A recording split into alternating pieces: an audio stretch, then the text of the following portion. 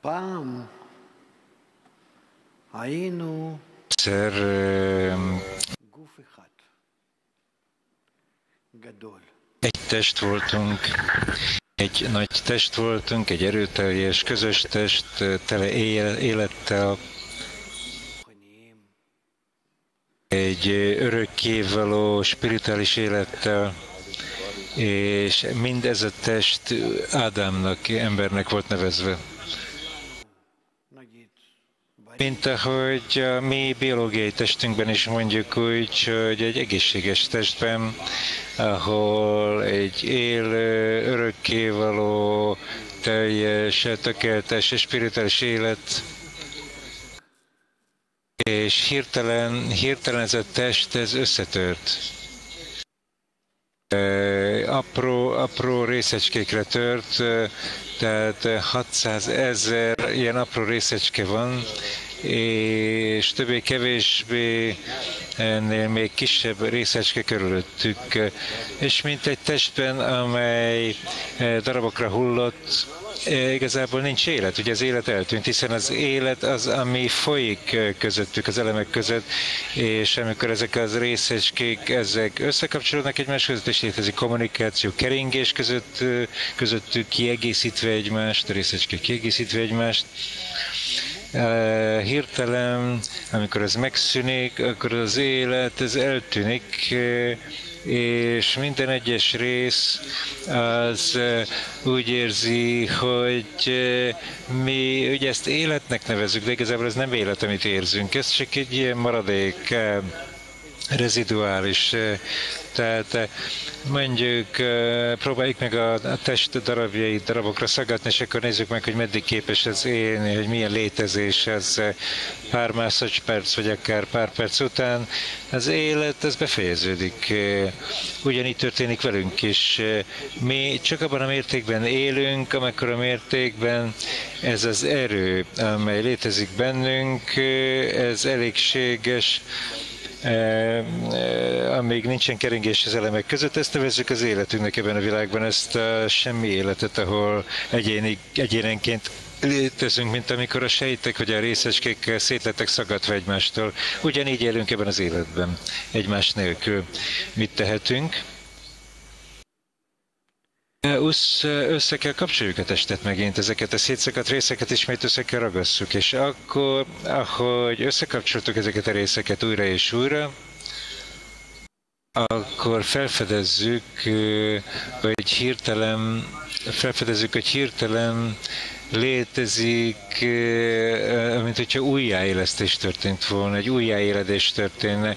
Valóban ez egy csodálatos dolog, csodálatos cselekedet, és, és ismét ismét az élet keringése történik az elemek között, a sejtek, a testrészek között, amikor a mértékben összekapcsolódnak, minél erősebben kapcsolódnak össze, a mérték, kapcsolat mértékében elkezdik az életet érezni, ami korábban létezett, de eltűnt. Sőt, mi több, eh, ahogy ez korábban eh, tehát sokkal erősebb, ízletesebb, nagyobb, lüktető, ezt nevezik úgy, hogy 620-szorosan annak, ami korábban létezik, ez a tarach, mit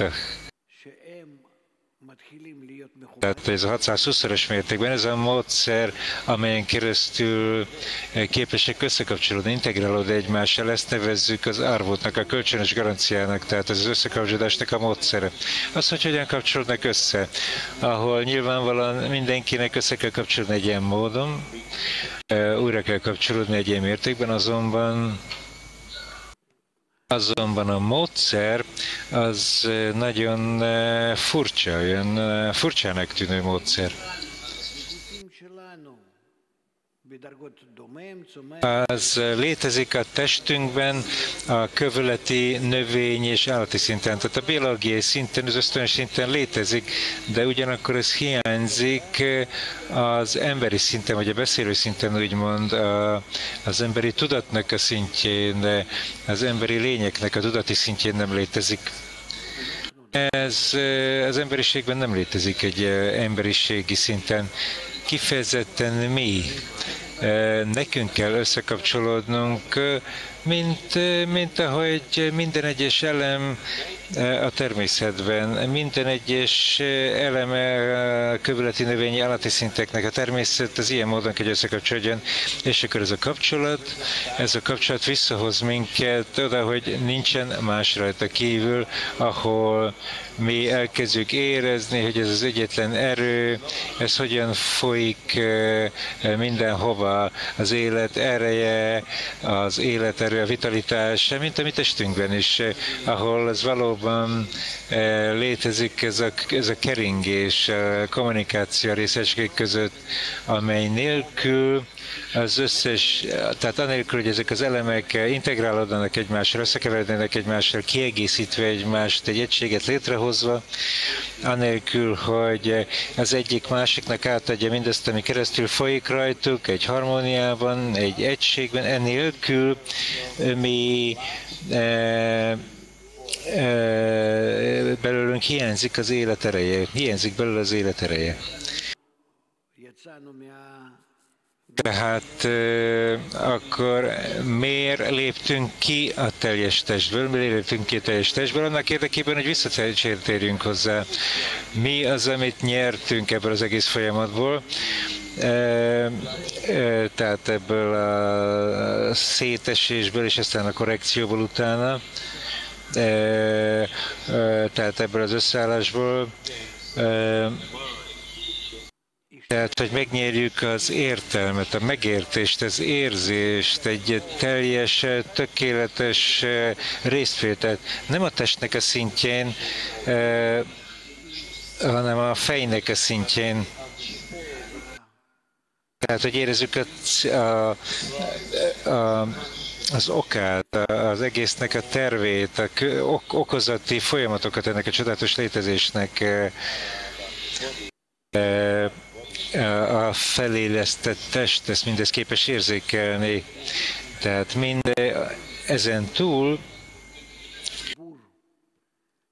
amikor mi visszatérünk oda, hogy elérjük ezt a kapcsolatot, hogy elérjük a, ezen a hatalmas erőfeszítésen keresztül az ellenállás ellenére, akkor mi akkor lényegében nyerünk elnyerjük, amit úgy nevezünk, hogy árvót, kölcsönös garancia, mert nem csak egy egyszerű kapcsolatot hozunk létre, hanem minden egyes személy az összekapcsolódik az összes többi elemmel, ami már levált korábban, és, és szétesett. És akkor minden egyes elem az érzi, érzi az összes többi résznek a célját, a szerepét. Tehát mindegyik megérti, hogy mindegyik résznek mi a szerepe. Tehát ezáltal megsokszorozzuk magunkat, megsokszorozzuk magunkat, mert érezzük minden egyes külön résznek a célját, és az egész szervezetek a célját, útját, okokozati folyamatokat. Ez megsokszorozódik azok az embereknek a számával, akik összekapcsolódnak. Sőt, mi több, minden egyes személyben léteznek emelkedések, zuhanások, az árvóton keresztül még kiegészítjük ezeket. Hogyha, hogyha én egy zuhanásban vagyok, akkor a lehető legjobb eh, kiegészítése egy zuhanásnak, amikor összekapcsolódom a többi részekkel, amelyek eh, amelyek az én állapotomhoz képest egy emelkedésben vannak. Ennél fogva én és ők kiegészítjük egymást, átadjuk egymásnak az zuhanást, emelkedés kiegészítve egymást, és ebből az következik, hogy mi soha nem veszítünk semmilyen állapotban, vagy állandó mozgásban vagyunk, mint egy perpetuum mobile, mint egy kerék, amelynek alsó része hátrafele megy a felső előre, de összességében a kerék előre halad. És ugyanígy, hogyha nem vagyok képes kilépni a zuhanásból, akár csak egy pillanatra is, akkor azt úgy tekintjük, hogy, hogy akkor a szempillantás alatt az nem lehet több, mint egy másodperc, tehát azonnal vissza kell térjek a kapcsolathoz, hogy mondjuk csak egy pillanatra vesztem el az eszméletemet, mint, mint amikor kapok egy szúrást. Az csak egy jele annak, hogyha többét megmaradok, akkor nem rendelkezem arvúttal, hogyha nem tudok egy másodperc után visszatérni az életbe, mert hogyha lenne arvút, akkor azonnal kilépnék ebből az egy másodperces eszméletvesztésbe, és visszatérnék az életbe, hogyha létezik az arvot. Nem csak, hogy emelkednék, hanem emelkedem ugyanabban a mértékben, egy még egy magasságra, ahol összekapcsolom mindenki mással, tehát az zuhanás által még magasabbra kerülök. A többiek mellettem vannak, mint az én tehát, hogy az ő, bocsánat, az én e, zuhanásom ez egy plusszá változik számokra, mert segítettek engem, tehát a plusz és a mínusz összeadódik, mint hogy egy bizonyos motor, egy, egy motor lenne. Tehát itt az edények törésén keresztül egy ilyen hatalmas lehetőséget kaptunk, hogy a törött edényt ismét összerakjuk egyetlen teljes testé. Itt valami csodálatos folyamaton megyünk keresztül, ahogy felülemelkedünk és megérünk, és megvizsgálunk, és bűnözünk, és kijavítjuk, ahogy kiegészítjük és felerősítjük az erőket, ahol a Kabala bölcseletében ezt úgy nevezzük, hogy úgy tekintjük, hogy mi, hogy mi növeljük azt, 620-osra növeljük azt, ami eredetileg létezett. De igazából ennek nincsen számértéke, mert a spiritotásban minden egyes szint, minden egyes magasabb szint az magába foglalja az összes többi szintet, amely alatta van, eh, megsokszorozva, tehát nem is hasonlítható az egyik szint a felette levőhöz. Ennél fogva Ennél fogva meg kell értsük azt, hogy a közöttünk levő kapcsolat nélkül, ezen az egymás készítő kapcsolaton túl, amit úgy nevezünk, hogy árvot, mi, mi nem érhetjük el a, a korrekciót, nem érhetjük el a korrekciót. És, és ahogy ezt mi tanuljuk, a Kabbalán keresztül, a Tóra megszerzéséből is tanuljuk, hogy csak is amekkora mértékben mi beleegyezünk abba, hogy összekapcsolódjunk egy emberként, egy szívvel, amit úgy nevezünk, hogy az árvótnak a feltétele, akkor jutunk, amekkora mértékben beleegyezünk ebbe, akkor jön a reformáló fény vagy a Tóra, és akkor az cselekszik rajtunk, segít minket. Mi magunk képtelenek vagyunk összekapcsolódni egyetlen szívé. A fény az, amely összekapcsol minket, de a hajlandóság, a kérelem, a sóvárgás a mi részünkről, ez az, aminek léteznie kell, ez, amit elvárnak tőlünk, hogy sóvárogjunk erre, hogy megtegyünk mindent, és sóvárogjunk azáltal, hogy nem vagyunk képesek egyedül ennél fogva így tudunk imához jutni. Ennél fogva nekünk bele kell egyeznünk ebbe a feltételbe, tehát szövetséget kell alárjunk egymásra, sőt, mi több, a személynek nem szabad azt gondolnia, hogy ő képes felemelkedni a, a, az általános arvót ereje felé egyedül, amelyet a, a csoport stabilizál. Tehát hogyha most, hogyha most a csoport az egy kapcsolat fele haladt, egy bizonyos szinten, egy bizonyos szintű kapcsolatot kell elérni, hogy közöttük létezzen az igazak igaza, teljesen mindegy, hogy kicsoda. Ő nem képes felugrani az általános arvút felé, amely a csoportban létezik. Tehát senki nem képes a saját köre felé emelkedni, hogy ezt olvassuk a cikkekben, mivel ez az alapfeltétel, hogy kezessé váljuk egymás számára. Ez a, a, annak a testnek a feltétele, amelyet éppen korrigálni kell. Tehát senki nem képes a saját köré felé emelkedni, tehát csak a mekkora mértékben a csoport csak abban a mértékben tudok emelkedni. És egymástól való függőségben vagyunk. Egyénileg senki nem tud kiugrani a csoportból lehetetlen, hogy valaki felemelje magát a saját köre fölé. Igen. Ennél fogva a személynek a környezetéből kell kapnia. Ennél fogva, hogyha a személy egy jó környezetet választ meg a számára, ennél fogva ö, időt és, és erőfeszítés nyer, hiszen hiszen a környezetét követi és a környezetét emeli. Tehát lehetetlen, hogy valaki a saját köre felé emelje. Ennél fogva a személynek a környezetéből kell szívni az energiát, olvassuk most a cikket, ennél fogva, hogyha a személy maga számára egy jó környezetet választ, akkor ő időt és erőfeszítést nyer ezáltal, takarít meg ezáltal, hiszen az környezete után vonzódik, ahogy a környezete emelkedik, maga is emelkedik, mint felfújja, mint egy légömböt, és megyek velük együtt. Ennél fogva mondja Rav, itt jön a kérdés. Itt jön a kérdés. Miért van az, hogy lehetséges felemelni magamat, hogy csak is a környezeten keresztül, és nem mehetek magasabbra, mint a környezet. Miért van az, hogy a spirituális szintben az csak is a kapcsolaton keresztül történik, és semmi több nem létezik, mint az általános kapcsolat a részecskék között. És hogy lehet az, hogy az emelkedés csak a környezeten keresztül történt, hogy nem magasabbra, mint a saját környezetem? Ez az első kérdés.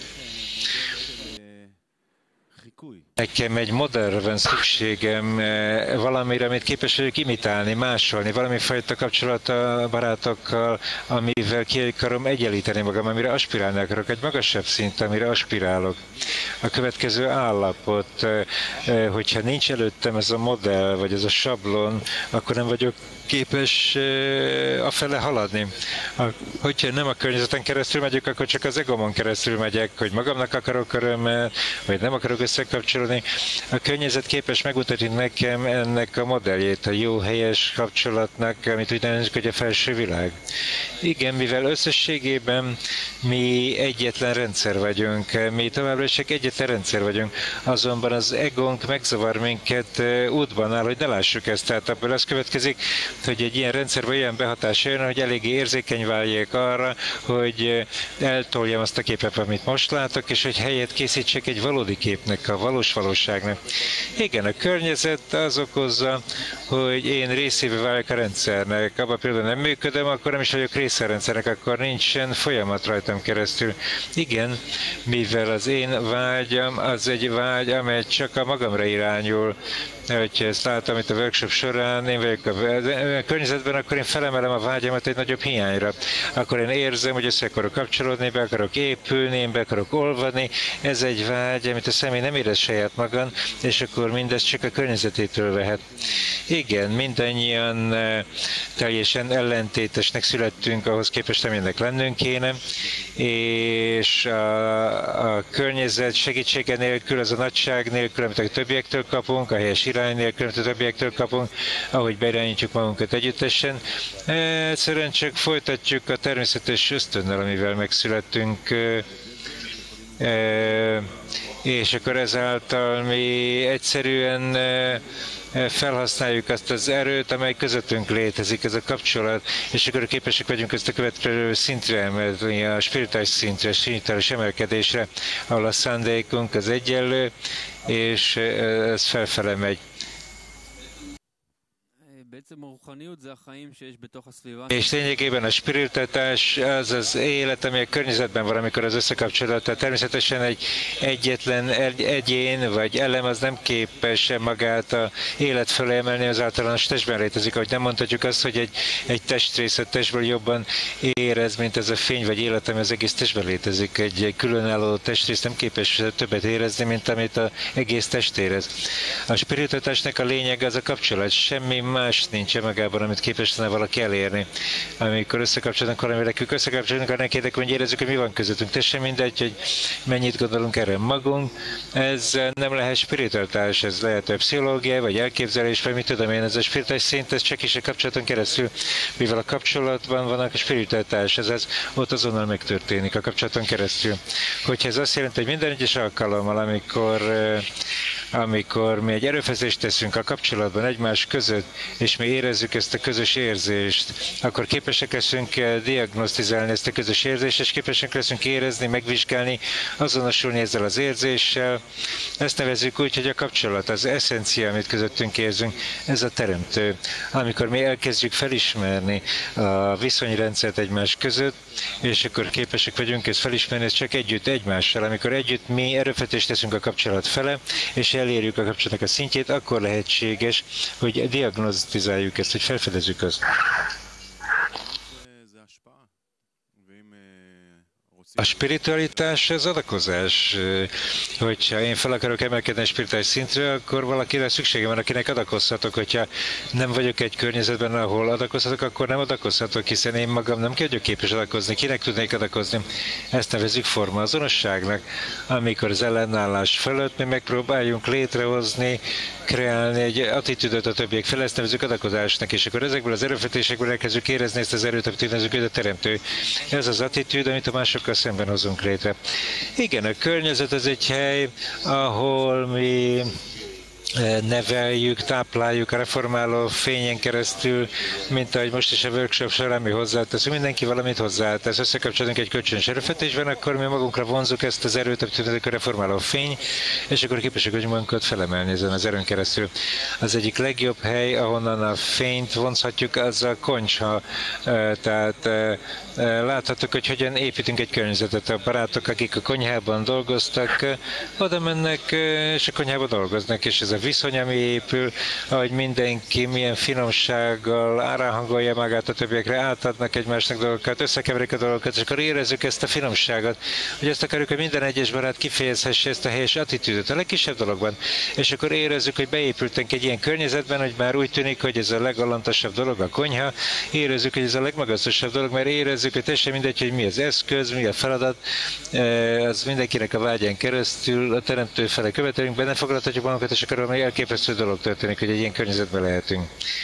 Igen, egy ilyen kapcsolatban mi egyszerűen csak fejlődünk tovább ezen a kapcsolaton, egyre közelebb kerülünk, közelebb kerülünk, és akkor ez a forma azonosság, amit létrehozunk egymás között, ez valóban ez a teremtő. Ez nem az, hogy várunk valamire, hogy ez belépjen, hanem hogy megkapjuk a helyes formát, ez a fény, ez az, amit várunk.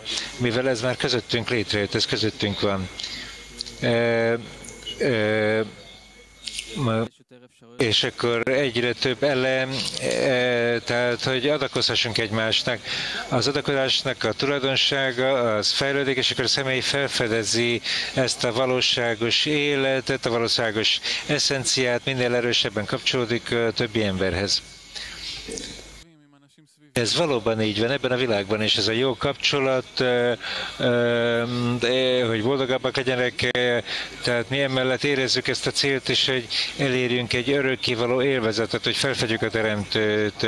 Ez, ez így történik meg, ez a kapcsolat, ez a kombináció az összes adattal, ami létezik, hogy ez létrehozza valamit ebben a világból, hogy ez létrehozza ezt, ez, ez az egyetlen kulcs az, ez a kulcs, hogy létrehozzuk a kapcsolatot egymás között, a kapcsolatnak a kulcsa, hogy ezt az új érzékszervet megnyissük. Csak el sem tudjuk képzelni, hogy, hogy mennyire érezzük, élvezzük ezt a kapcsolatot ebben a világban, és semmi ahhoz hasonlíthatóan, amit létrehozunk majd a spirites világban, amikor valódi kapcsolatokat hozunk létre, és a fény keresztül folyik rajtunk.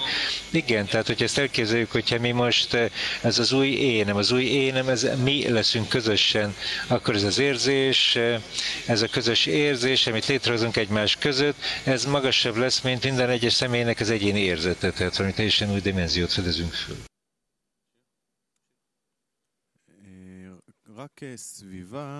Csak, csak a környezeten keresztül, Rav, Rav. Mi azt tanuljuk, hogy az egész munkánk abból áll, hogy kiválasztjuk a helyes környezetet. A jó környezet a jó környezet az egyszerűen garantálja a személynek, hogy képes elérni a célt.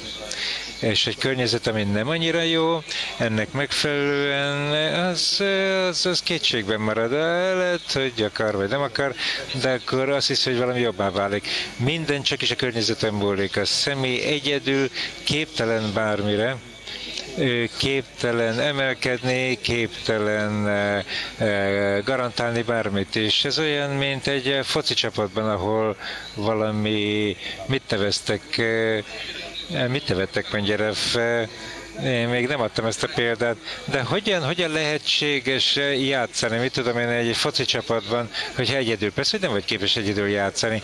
Ennél fogva itt is, hogyha én arra gondolok, hogyan juthatok előre, akár egy fél méterrel előre, akkor nekem szükségem van a csoport, hogy a csoport erősebbé váljon. Nekem egy jobb csapat kell.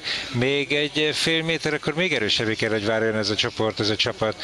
Ez az, hogy haladunk előre. Tehát az előrehaladás az nem személyes. Az előrehaladás az mindig azáltal, hogy intenzívebbé tesszük a csoport erejét. És akkor ezt úgy tekintjük, hogy én haladok előre. De ez érthető, kérdezi Rav. Igen, érthető? Számomra nem annyira érthető, mondja Rav.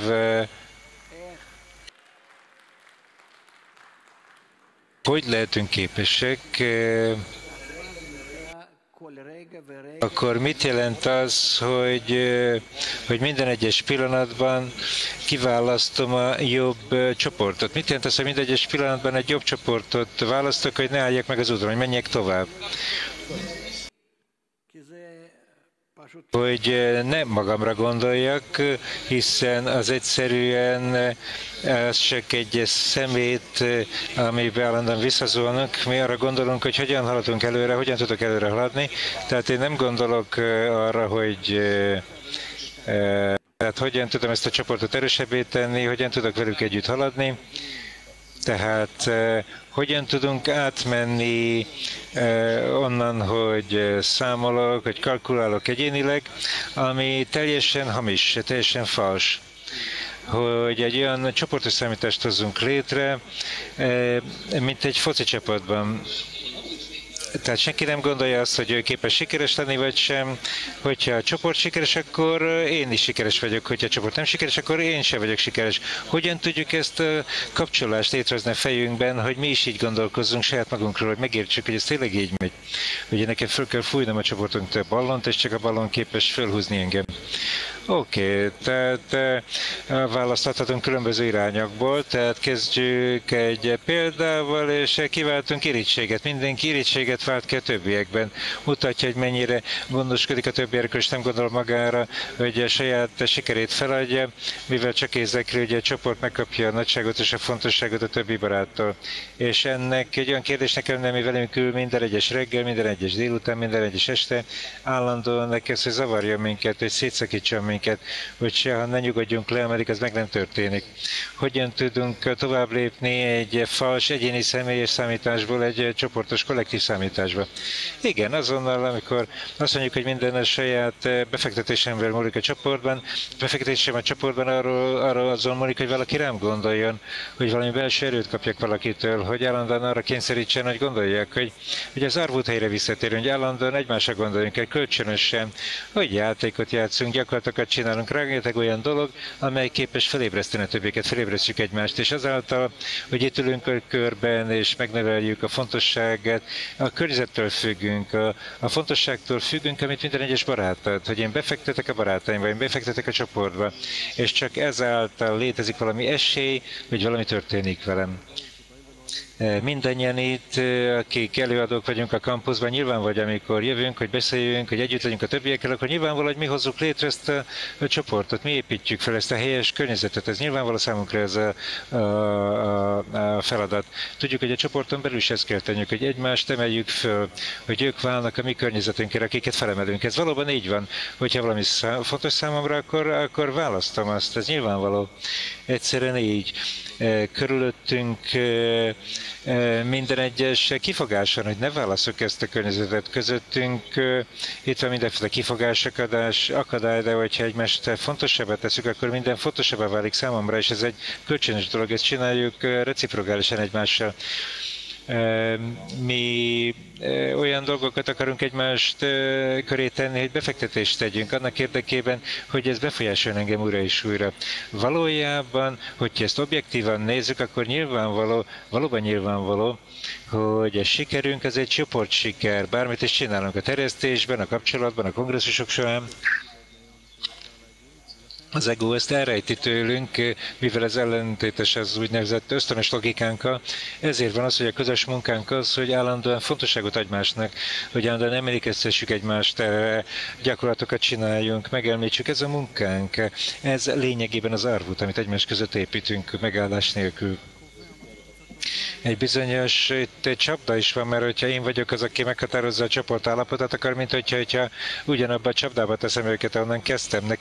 Nekik egy olyan környezetet kell adjak, amely példa, hogy kihúzzon engem mindenfajta gondolkodásból, ahova az ego akar engem bevinni, hogy hogyan haladunk, hogyan tudjuk felhasználni a csoportot, Mindezek a dolgok, az ego ugye kiváltja ezeket a dolgokat, és kifejezetten azáltal, hogy a csoporthoz jövünk, a, a csoport prizmáján keresztül, akkor én kicserélem az értékeimet a csoport értékeire, és akkor, akkor a csoporttal együtt haladok. Tehát az értékeimet ki kell cseréljem a csoport értékére. És ezen a cserén túl, hogy kicseréljük az értékeket, meg kell szerezzük a csoportnak az értékeit, ezen túl nekem erőfeszítést kell tennem, hogy higgyek bennük, hogy érezzem, hogy ők valóban az enyémek, hogy, hogy ez az én életutam, hogy én nekem bíznom kell bennük száz százalékig, hogy ez a megközelítés, a döntés, amit a csoporthoz, az, az valóban helyes, hogyha az valóban egy csoportdöntés.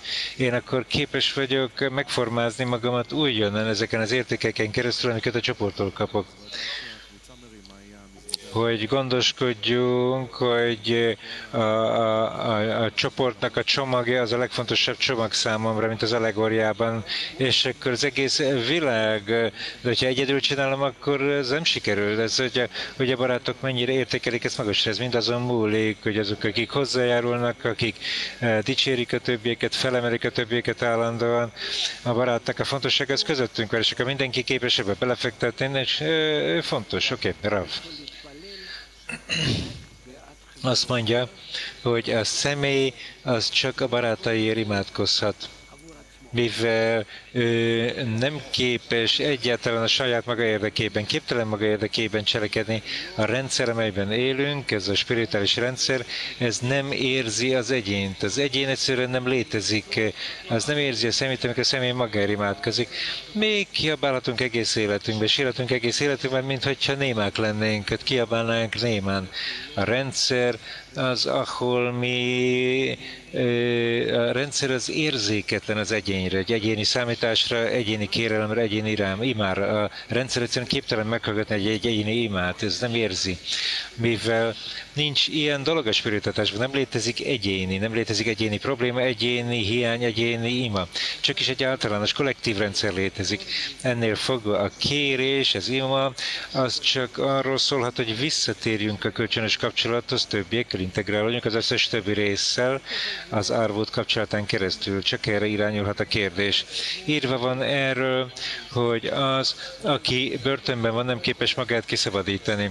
A személy, aki a börtönben van, az nem képes magát onnan kiszabadítani ehelyett az a mások, azok, akik képesek egymást kiszabadítani, vagy egymást képesek segíteni, de egyedül senki nem képes erre. Ez az, hogy megmaradunk ebben a világban, ebben a börtönben vagyunk egyelőre, egészen addig, ameddig nem segítjük egymást, vagy nem kapunk segítséget a Teremtőtől, hogy végre megértsük ezt, és hogy kihúzzuk egymást, hogy mindenki kihúzza a másikat. Csak is egy ilyen módon tudunk kiszabadulni a börtönből.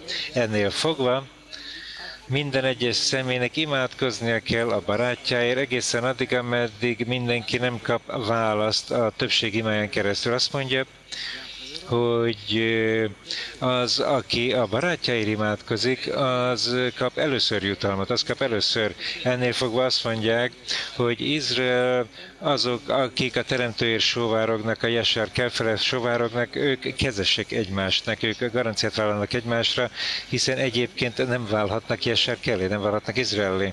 Amikor mindenki a barátjáért imádkozik, ezen keresztül mindenki élvezetet kap.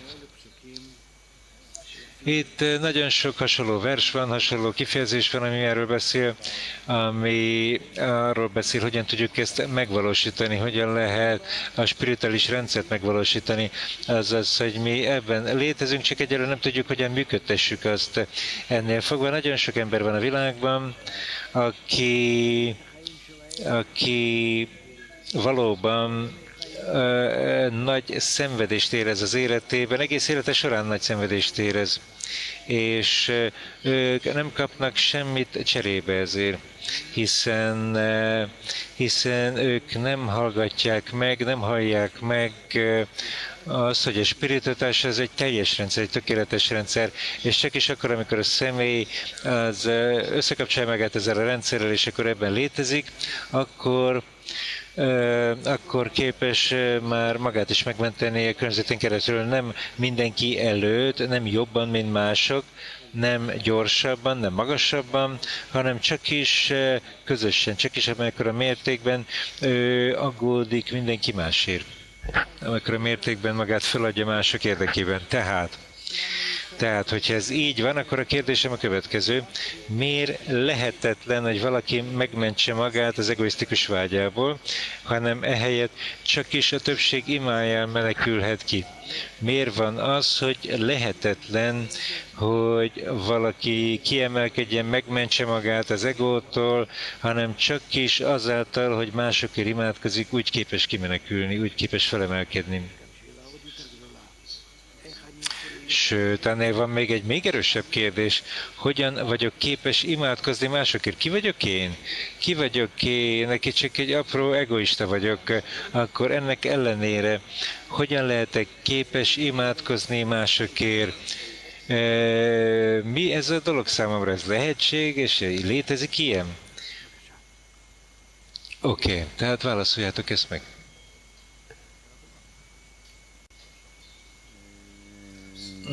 Jó kérdés, mondják, jó kérdés mondják az asztalnál.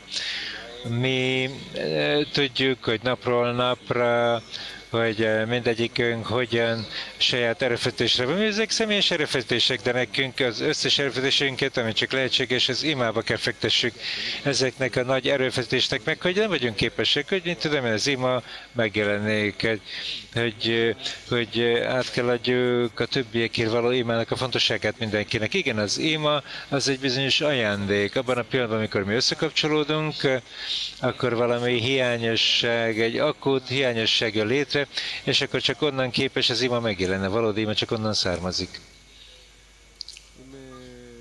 Következő hogyha valami történik a személlyel, a családban, Isten ments a gyerekeivel, vagy a szüleivel, akkor állandó imában van, állandóan rájuk gondol, mivel érzi, hogy ez róla szól, az hozzá.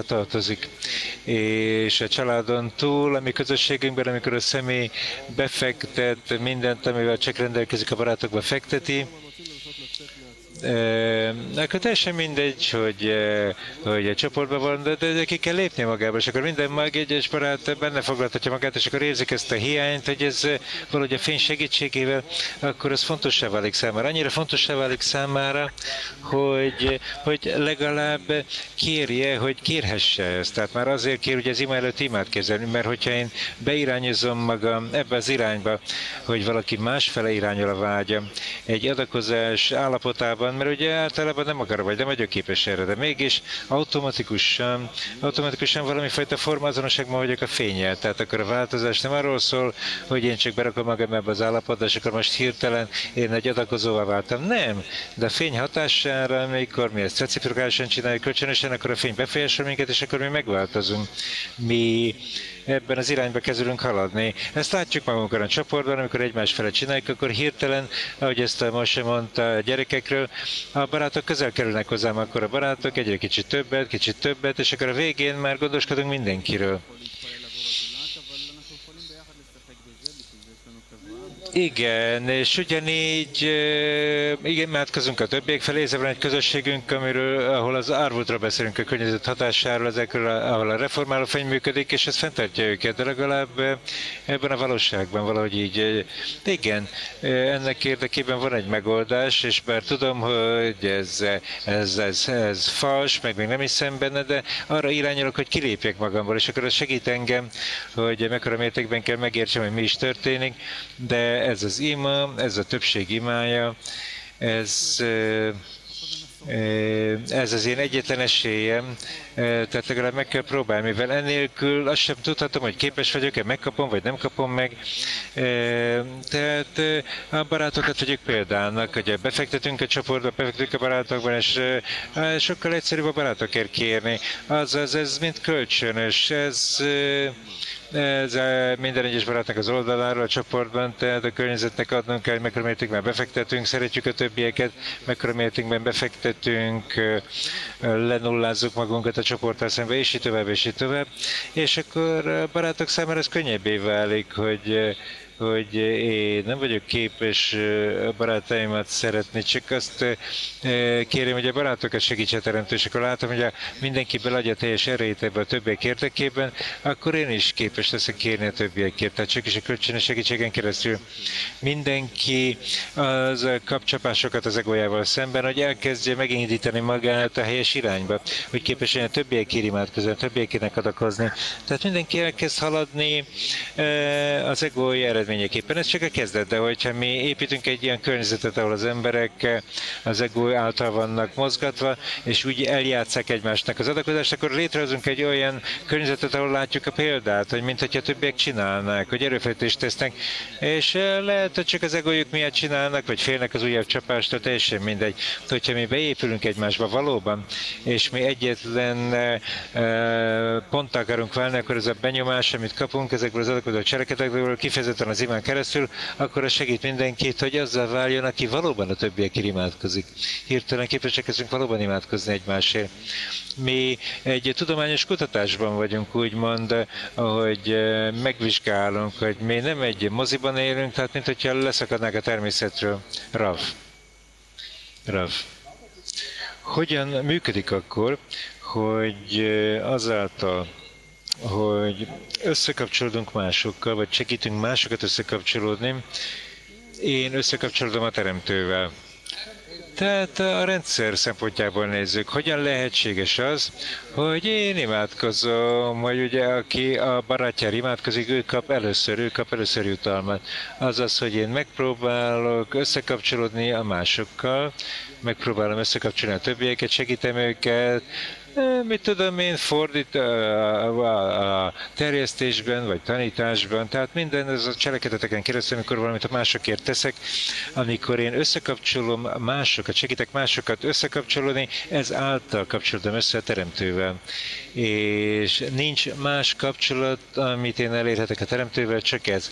Csak is azáltal, hogy én segítem a többieket összekapcsolódni. Az árvut törvénye hogyan működik itt? Közöttünk és velünk együtt a Teremtővel. Hogyan működik ez, ahogy ezt mondja, hogy ő egy szövetséget kötött vele. Szövetséget kötött vele. Nos, vissza a fókuszasztalhoz. A Bore az jó és jóságos a teremtő. Abban a pillanatban, amikor összekapcsolódom a barátokkal, összekapcsolom a barátokat, akkor elégedettséget adok a teremtőnek mert lényegében a kapcsolat, a szeretetet hozunk létre. Ebből áll az utunk. Tehát, tehát hogy hirtelen megértjük, hogy ezek a kifejezések, szeretet, kapcsolat, ezek lényegében olyasmi, ami, ami, ami, ami mint hogyha levegőbe lenne, de adjál valamit, próbálj megadni valamit. Ennyi, na csináljuk együtt. Itt a kongresszus, itt van az összes barátunk, akik idejöttek, és az összes barát, aki itt ül és néz minket, érezzük a kapcsolatot, ami ebből származik. Érezzük ezt a kapcsolatot egymás között. Igen, ez olyan, mint hogyha a személy az kapna egy automatikus szoftver felújítást. Állandóan magamért kérek, állandóan magamért kérek, de nem kell nekem többet, hiszen mert mindig magamért kérek, és akkor valamit visszakapok, és ennyi. De hogyha én befektetek a barátokba, hogyha megtesszük az összes lehetséges erőfeszítéssel, cselekszünk, beépülünk a környezetbe, minden, amit az előző körben is mondtunk, akkor, és nekem terjesztenem kell, nekem adakoznom kell a barátoknak, vagy másoknak, érzem ezt a hiányt, ami sokkal nagyobb, mint az enyém, akkor már még többre van szükségem, akkor ezt át kell adnom ennek a barátoknak, ezeknek a tanítványoknak, ezeknek az embereknek, teljesen mindegy, át kell adjak nekik. Van ez a követelésem, és ez felülről beleegyeznek ebbe, hiszen másokért követelek, másoknak akarok átadni. Következő. Igen, tehát itt van egy csomó egoista barát, mindenki csak már gondol, hogyan tudom felemelni magamat, hogyan tudok én jutalmat kapni, hogyan tudok én bejutni, nekem kifele kell lépnek, nekem a többiek fele kell menni, nekem úgymond át kell irányítsam ezt az önző vágyamat, kifele kell vetítsem, hiszen akkor egy ilyen módon ez nyilvánvaló, hogyha nekem nem kell járnom még, hogy meg legyek utalmazva, hanem a cselekedet maga az a jutalom, hogy cselekedetek, hogy tehetek a többiek érdekében. Igen, a rendszer oldaláról, amikor mi azt mondjuk, hogy a teremtőek az adakozás tulajdonsága, akkor nekem szükségem van egy edényre, szükség van egy edényre, amely a képes vagyok adakozni, hiszen magamnak nem vagyok képes adakozni. Tehát össze kell kapcsolódjak másokkal, össze kell kapcsolódjak másokkal, ami azt azt jelenti, hogy felhasználom a teremtő erejét annak érdekében, hogy létrehozunk, hogy összekapcsoljuk őket a teremtő segítségével. És azáltal, hogy felhasználjuk a teremtő erejét, felfedjük ezt az erőt. Mivel korábban, eh, mielőtt ez megjelenne, akkor fel, hogy kinek tudjuk ezt átadni, azaz, hogy ne zuhanjak ebbe a csapdába, amikor a fényt hozzuk, eh, eh, tehát ebben a pillanatban, amikor ezt átadom, akkor egy kicsit még jobbat akarok velük együtt lenni nekem fel kell készíteni magamat, hogy, hogy hogyan tudjuk ezt igazolni, semmi nem maradjon meg velem, és akkor csak onnan lesz ez felfedve. Csak amikor már tudom, hogy ez minden. Rav. Még, még több van írva, hogy az egyénnek nem szabad maga számára kérnie. Ez nem azt jelenti, hogy ha te magadnak kérsz, akkor nem segít téged, hanem sikoltasz az egész életbe teremtőnek, hogy tanuljál, vagy olvassál, vagy akár taníthatsz, de hogyha te nem kérsz mások érdekében, akkor nem juthatsz előre. Ennél fogva, akkor az tilos, hogy az egyén az maga számára kérjem még akár, hogy elégedettséget adja, még annak érdekében sem, hogy elégedettséget adjanak. Add meg nekem a lehetőséget, hogy elégedettséget adhassak neked. Hogyha ezt egyénileg kérem, akkor az nem halató, akkor az nem megy keresztül a rendszeren. Mi egy rendszerben élünk, és a rendszer törvényeken működik, törvényekre alapul, és nincs olyan dolog, hogy a személy az kér a saját maga érdekében, hogy saját magának kér, és hogy ezért valami választ kapna. Ilyen nem létezik ebben a rendszerben. Ezen túl, hogy csak, csak akkor, hogyha ez az egész kollektíva számára, csak a kollektíva számára, hiszen hogyha ő magának kér, akkor pusztulást okoz a lelkének, ahogy ezt írják.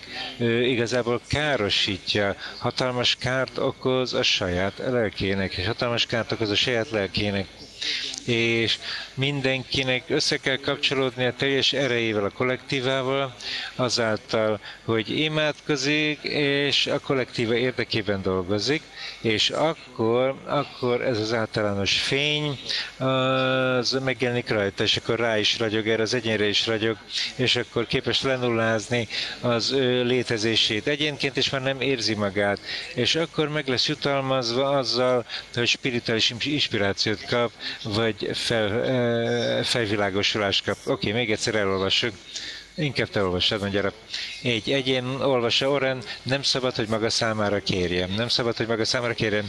Még azért sem, hogy elégedettséget adjon a teremtőjének. Még azt sem kérete magam számára. Csak is akkor, hogyha ezt az egész kollektíva számára kéri, mivel az, aki a maga számára kér, az pusztulást okoz a lelkének. Az pusztulást a lelkének. És minden egyes egyénnek össze kell kapcsolódni a teljes erejével, a kollektívával, azáltal, hogy imádkozik és dolgozik, és akkor akkor az általános fény, amely az egyénre ragyog, az eltörli az ő egyéni létezését, és akkor többé már nem érzi magát. Oké, okay, ez nagyon nehéz, mondja Rav. Ez kétségtelenül nagyon nehéz. Innen azonnal két kérdésem van, mondja Rav. Itt mi láthatjuk, eh, hogy egészen addig, ameddig a publikum az megérti, hogy hogyan imádkozzunk helyesen, az összes ima, amit mindenki, teljesen mindegy, hogy milyen formában, teljesen mindegy, hogy hogyan jut el ehhez az imához, az összes ima mindenkinek az imája, az csak a pusztulást okoz a lelküknek, mert magunknak imádkozunk, de ez az, hogy a világban mindenki imádkozik, az egész világ így imádkozik, mindenki saját maga érdekében. Tehát akkor ebből nyilvánvaló, hogy egészen addig, ameddig a Kabbalah bölcselete el nem magyarázza, hogy ezáltal mi csak eltávolodunk a spiritualitástól, mi egyre messzebb kerülünk a spiritualitástól, mi nem látunk, nem látjuk a világnak az üdvözülését, a világnak a felemelkedését. Ennél fogva meg kell értsük, hogy egyelőre az összes ima, az egész publikum összes imája, ahol mindenki természetesen csak magának imádkozik, ezen keresztül mindenki csak pusztulást okoz a lelkének. Tehát akkor mi hogyan lehetünk képesek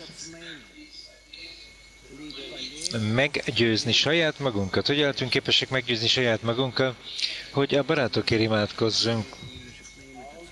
Hogyan lehetünk mi képesek, hogyan lehetünk képesek meggyőzni magunkat, hogy a barátokért imádkozzunk. Hogy meggyőzzük magunkat, hogy igazából ez a mi érdekünket szolgálja, hogy a többiekért imádkozzunk.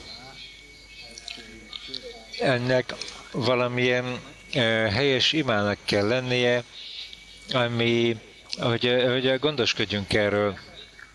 Hogyan tudom rávenni magamat, hogy, hogy a többiekről gondoskodjak. Oké? Okay?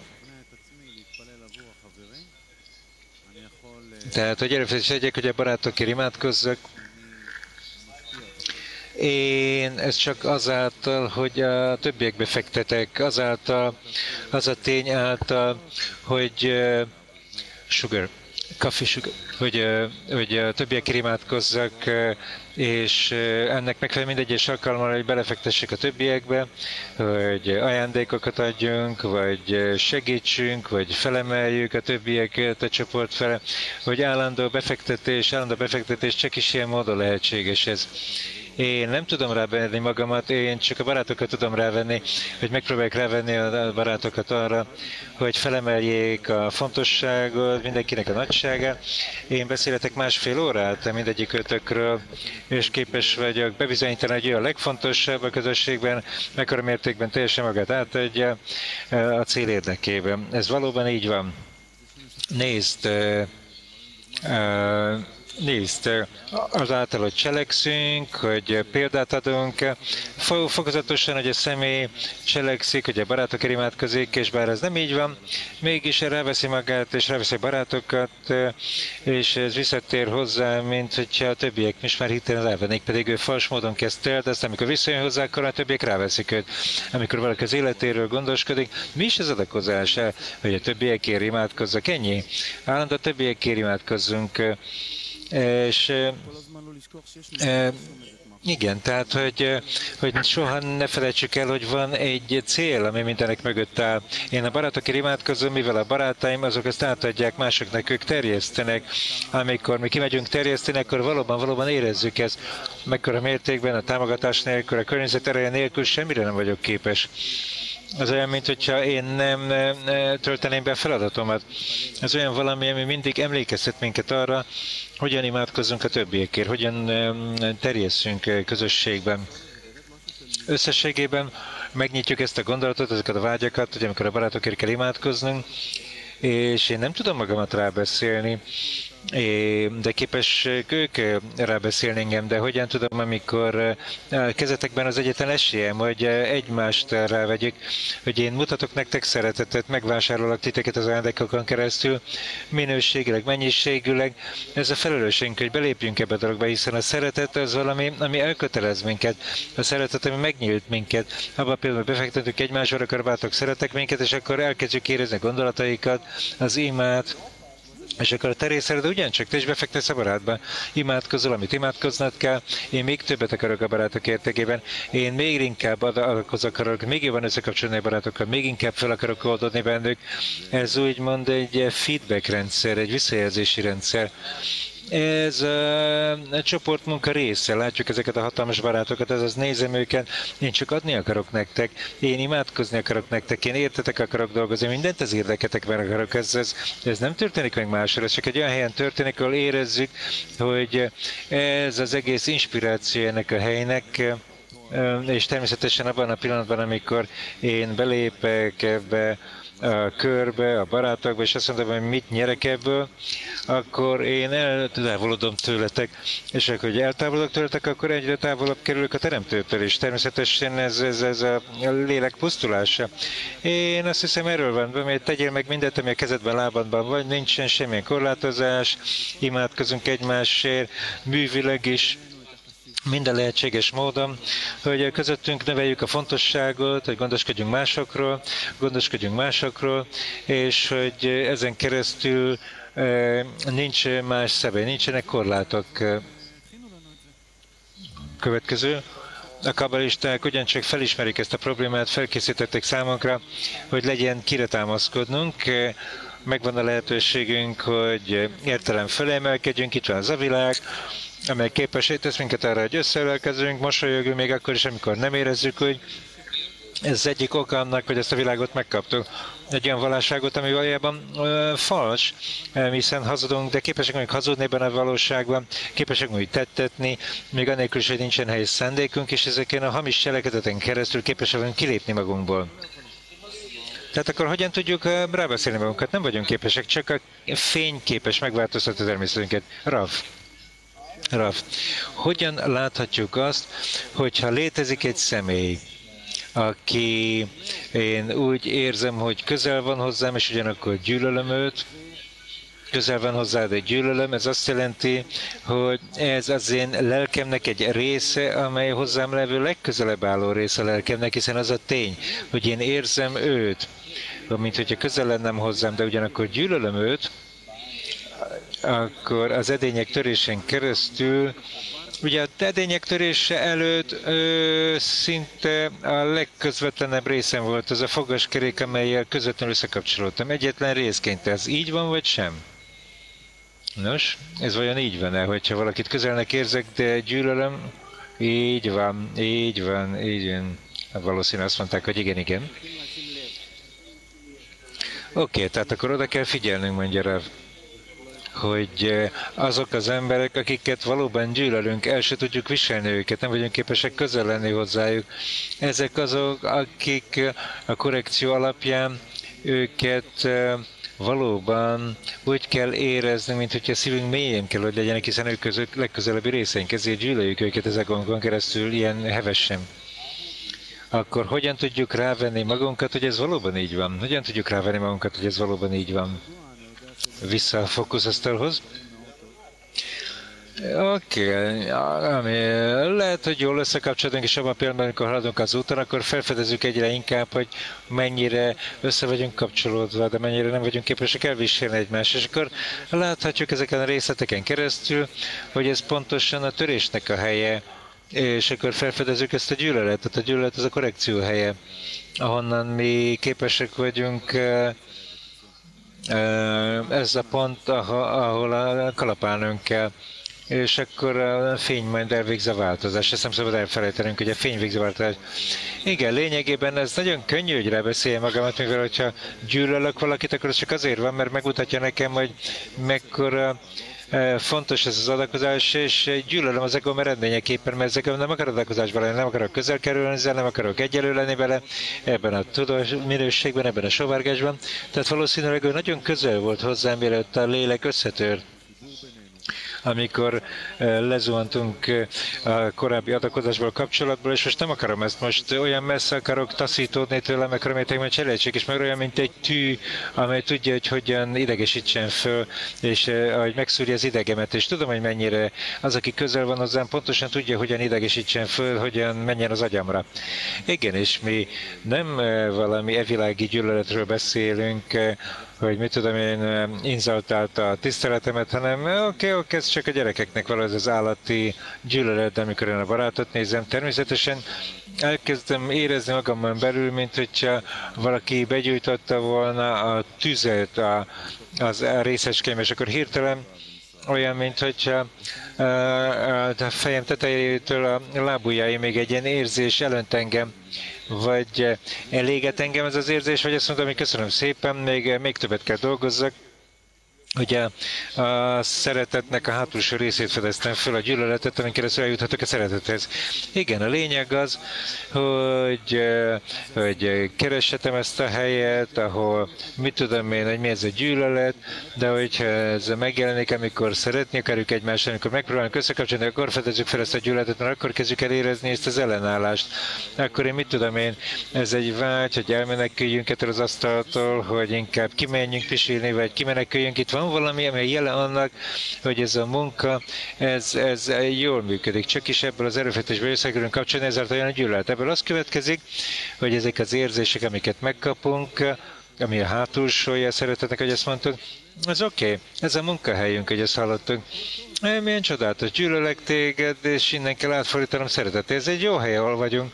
Mindannyian érezzük hirtelen, hogy ez, hogy felébred bennünk ez az érzés, amikor nincsenek oka, de kifejezetten itt van az a hely, ahol kérnünk kell, hogy imádkozzunk, hogy itt leszünk képesek dolgozni, hogy felfedjük ezt a helyes attitűdöt, és akkor hirtelen ugye látjuk azt a tapasztalatban is, hogy kifejezetten ezen az elfedésen keresztül felfedezzük a csodálatos dolgokat a, szívet.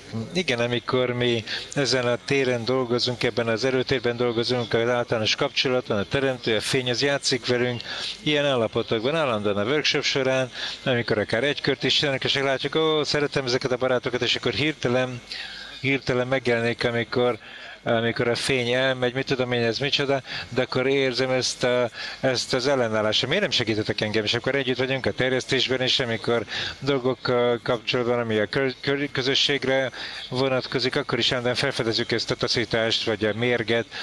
Miért vagyok olyan boldog, hogy gyűlölek titeket? Mert amikor a fölémelkedem, akkor látom, hogy ez a szakadék, ez a munka, amit csinálunk, hogy a gyűlölet fölémelkedjünk, hogy a gyűlölet és a szeretet között ez az, ahol dolgozunk el, ezzel felfedjük a teremtőt. Tehát a kap, kap, korrekció ez nem lehet passzív, hanem annak lélegezni kell, annak mozognia kell. Mi úgy érezzük, hogy ez valóban életben van. Mint egy család, aki nem unalmas, hanem állandóan vitatkoznak, veszekszednek, élet van bennük, de mégis együtt maradnak, mert egy család. Igen, tehát az a személy, aki benne van, ez a gyűlölet, ami megtámadja, nem képes rábír, rávenni magát, hogy bármi, itt van a család, tanárunk, itt van a környezet, itt vannak a példák, itt vannak a források. Mi állandóan érzékeljük őket, és a legfontosabb, hogy megmaradjunk, hogy összeolvadjunk a környezetemekkel, amértünkben lehetséges, és dolgozzunk, hogy ezt mondtuk, hogy dolgozzunk a kapcsolat és a szeretetem. Rabba sírja, olvasunk. A személynek azt kell mondania, hogy a világ a számomra lett teremtve hogy amennyiben, hogyha én az egész világért imádkozom, akkor eljutok a spiritualitáshoz. Mivel a személy egyedül az Ádámnak van neve, bocsánat, az csak teremtett lénynek van nevezve rajta kívül, csak az Istenség létezik. Tehát amikor a személy a kollektívár imádkozik, akkor az Istenségért imádkozik, aki számüzetésben van, és akkor pontosan egy ilyen módon jelenik meg a kegyelem fénye. Azonban, hogyha valaki saját magáért imádkozik, akkor ő megszerzésben van, a saját maga jelenti megszerzésben. És akkor minél inkább növeli az imáját, annál inkább, akkor egyre távolabb kerül, mivel az összeolvadás az a teremtő tulajdonságain keresztül történik, hiszen ahogy ő kegyelmes, te is kegyelmes kell, hogy legyél. Ennél fogva a személy akkor él el összeolvadást, amikor a kollektíváért imádkozik. Ezt nevezzük úgy, hogy ő az adakozással foglalkozik, és ő az edényt készíti, amelyben a felső fény megmutathatja magát. Innen jön a kérdés, hogy ez hogyan történhet meg, hogyha én a többiekért imádkozom, hogyha többiekért imádkozom, a publikumért imádkozom, akkor ezt tekintjük úgy, hogy én magamért imádkozom, és ezen keresztül én magamat közelebb viszem a Teremtőhöz. Hogyan lehetséges az, hogy, hogy amikor mindenki imádkozom, azáltal magamat viszem közelebb a Teremtőhöz? Ez, ez, ez hogyan működik? Hogyan van ez elrendezve? Hogyan van ez így elrendezve? minél inkább a kollektívára aggódom, annál inkább megyek közelebb a teremtőért. Egyre közelebb kerülök hozzá. Ez érthető, kérdezi Rav? Vagy nem? Oké, okay, akkor vagy kezdjetek bele. Nagyon egyszerű a válasz, mondja Rav.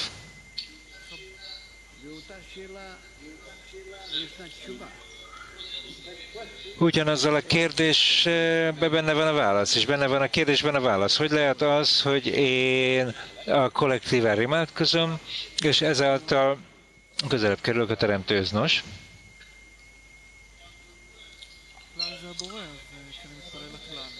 A kollektíva, az a teremtő, tehát amikor a kollektívára imádkozom, hogy a barátokkal összekapcsoljak, ez a teremtőnek az inkarnáció előttem. Ez az ő módja, hogy felfedje magát az én egómon keresztül, a barátokon, a, a, a, a publikumon keresztül. Következő minél inkább imádkozom a publikumnak, a barátokért, annál inkább akkor felébred bennem a gonosz hajlam, és akkor a gonosz hajlam az eh, felébred, az felébreszti bennem azt a követelést és a változás, hogy a fény megváltoztassa a természetemet, hogy eh, megváltoztassa a természetemet, és akkor én valóban a helyes attitűdben leszek, a barátok fele, csoport fele, az emberiség fele, és ezt nevezzük úgy, hogy Bore, Bo-ure, jöjj és láss hogy a többiekért imádkozzak, ez azt jelenti, hogy én a teremtőtől a többiekért kérek, hogy én azt kérem, hogy a teremtő segítséget, és a teremtő egyetlen dolgokat akar tőlem, hogy mi mindent hozzá iszonyítsunk, hogy, hogy mindent viszonyítsunk, hogy mindent ő csináljon. A többiekkel kapcsolatban valóban látjuk a, a helyzetek összes kompozíciót, ahol kérhetjük, hogy a teremtő legyen az, aki beteljesíti ezt, hogy megtöltse, és hogy átadja nekik a fontosságot, az ő felfedezését bennük, mi csak egy pont vagyunk, amely döntést tesz, hogy mekkora mértékben akarjuk, hogy a teremtő legyen az, aki működjön, hogy átadjuk neki az irányítást magunkat teljesen feladva. Igen, ezt nevezük úgy, hogy formazonosság, én a nemzetemen belül lakozom, én a publikumba akarok integrálódni, fel akarom fedezni bennük, hogy minden inkább arany akarjuk, annál közül, hasonlóan válunk hozzá. Tehát ami rajtam kívül van, ez az attitűdöt, ebből fel ezt szívjuk úgy, borre. Igen, ebben az imában létezik egy erő, az erő, amely lényegében létrehozza az erőt, ez a reformáló fény. Ez az az erő, amely kezdetben menedzseri ezt az egész dolgot. A törésnek az erejét, abban például megjelenik az ima, akkor ott van a teremtő. Ez az, ahogy a rendszer működik, ez, hogy a rendszer életet kap. Én ezt úgy képzelem, mint egy rendszer, ahol mindig van egy ima. Az ima soha nem áll meg, ez a folyamat, ez a keringés, a teremtő az imában van, és mindig összekapcsolódunk.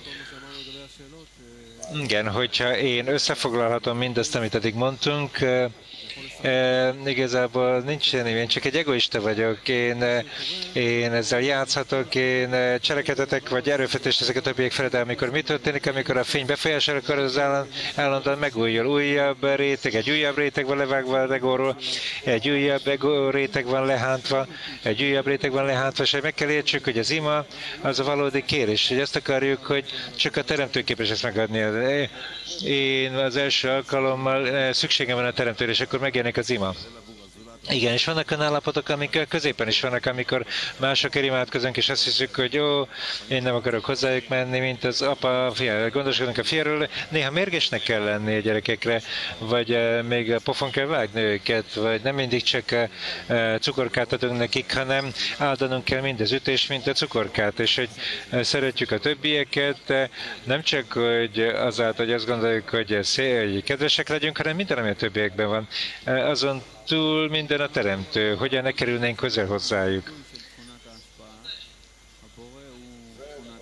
A többé való ima, az adakozás tulajdonságának a kifejeződése. A teremtő az adakozás tulajdonságát, amikor többé imádkozom, akkor én kiegyenlítem magam a teremtő tulajdonságával ennél fogva, elkezdem érezni a teremtőt a formazóságon keresztül. Igen, a teremtő az az adakozás tulajdonsága, és amit csinál, ez azáltal, hogy valaki másról gondoskodom, képes vagyok ezt megtalálni. Tehát, hogy valami másira aggódjak, az egoisztikus aggodalmamon túl, az ima az egy kifejeződés az adakozásnak. Amikor én imádkozom, Én nem akarok semmit cserébe azért, hanem én csak, én csak, tehát ott valami összezavarodottság van, de, de bizonyos, hogy ez valami különbözik a mi jellegi valóságunktól, ahol én azért kérek, mert valamit magamnak akarok, valamit akarok kapni, valamit. Ez egy lehetőség, hogy anélkül kérnék, hogy tudnám, hogy valamit kapok abból. És amikor beszéltél, akkor hirtelen meghallottam, hogy az ima az lényegében a szakadék köztem és az adakozás tulajdonsága között, amikor megtöltöm ezt a, amikor érzem ezt a szakadékot a, a jellegi állapotom és az adakozás tulajdonsága között, tehát az optimális állapot és a jellegi állapotom között. Ez az ima. Mivel a teremtő az, aki felébresztett engem kezdetben, felébreszti bennem a resimót, ezt a negatív resimót, a vágyat, de nem tudom, hogy ki a teremtő, csak azt tudom, hogy létezik egy bizonyos erő, és ő fejlődik, kifejleszti ezt a pontot, és akkor egy bizonyos idő után azt mondja, hogy gondoskodj el a többiekről. És én megpróbálom ezt csinálni, és akkor látom, hogy ez lehet, tehát és akkor mondom, nézd meg, én képtelen vagyok erre, segítsél nekem. És akkor ő segít nekem egy kicsit, és akkor látjuk, hogy többre van szükségünk, és akkor megint oda megyek hozzá, és azt mondja, nézd, még többet kell kapjak tőled, és akkor segítsél engem még jobban. Ez a fajta viszony, amit a teremtő akar nekünk adni, hogy oda menjünk hozzá állandóan, hogy még nagyobb erőnk legyen, hogy többé imádkozunk, ahol mindenki látja, hogy mekkora mértékben a befektetése semmi a teremtő segítsége nélkül, és hogy ő megváltoztassa mi attitűdönket a többiekkel szemben és a teremtővel szemben. Igen, tehát ez ez, ez, ez egy kérdés, hogy ez mennyire nehéz, hogy mi levágjuk magunkat, hogy mit gondolunk az egész életünkben, hogy nézzük, hogy mit hallunk, hogy teremtő. Tehát ez ne, semmi ez nem hasonlított, mint ez az attitűd, a többiekhez képes, ez az erő, amiben kifejezzük az attitűdünket a többiekkel szemben.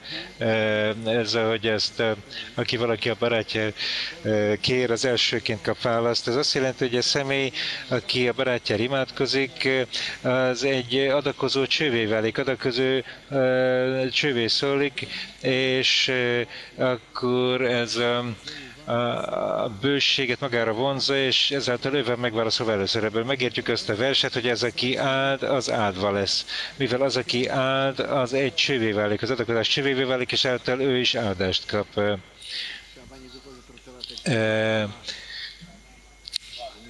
Raf, tehát ennél szóval szeretnék választani, hogy miért jobb az, hogy a kollektíváért imádkozunk, akkor közelünk a teremtőhöz. A formazonosság, egyszerű a formazonosság körvénye formazonosságon keresztül, mivel hogyha publikumnak adakozom, tehát amikor adakoznak a kollektíva fel, akkor közelebb kerülök a teremtő, a teremtőhöz a formazosságon keresztül. Tehát a formanosság. Tehát olvass el, oké, okay, következő. Balaszolam azt mondja, hogy az, aki életet során azért tesz erőfeszítés, hogy egy jobb környezetet válaszol, akkor érdemes válnak a jutalomra. És nem azért, mert jó gondolatai vannak, vagy jó cselekedetei vannak, ami szükségszerűen választás nélkül jön hozzá, hanem azáltal, mivel azt az erőfeszítést tette, hogy egy jó környezet építsen maga számára, ami elhozza neki ezeket a gondolatokat és a cselekedeteket. Ennél fogva, amikor azt mondja, hogy készíts magadnak egy, egy ravot, és vásárolj magadnak egy barátot. Még egyszer, az, aki élete során erőfeszítést tesz, és állandóan egy jobb környezetet választ maga számára, ő érdemessé válik az áldásra és a jutalomra.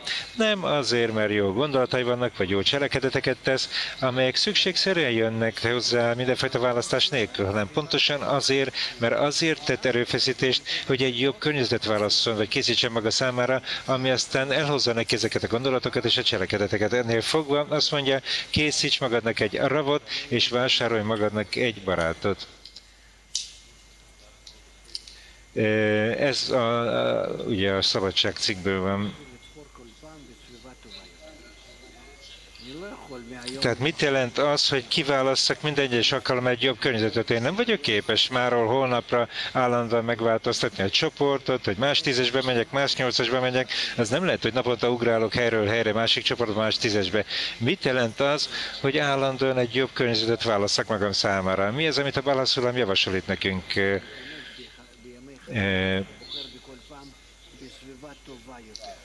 Tehát hogy mindegyes alkalommal egy jobb környezetet válaszunk magunk számára. ennél fogva halad előre. Tehát mit jelent az, hogy egy jobb környezetet választunk magunk számára állandóan? Tehát, hogy egy jobb környezetet akarjunk, mit jelent ez? Hol van a név?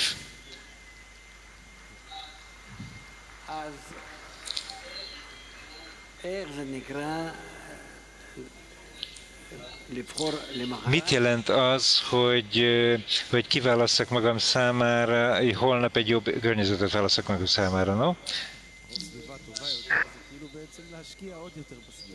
Az, hogy egy jobb környezet azt jelenti, hogy még többet fektessek a jellegi környezetembe, hogyha magunkhoz veszük az összes tanácsot, amit kaptunk, és egyszerűen csak keresztül akarunk menni, és megnézzük, hogy megvalósítottuk, vagy sem, az nem segít, hiszen minden alkalommal, ha belépek, akkor ki kell válaszolni, mekkora mértékben fektetek be, képes vagyok többet, vagy kértetek egy tanácsot a többiektől.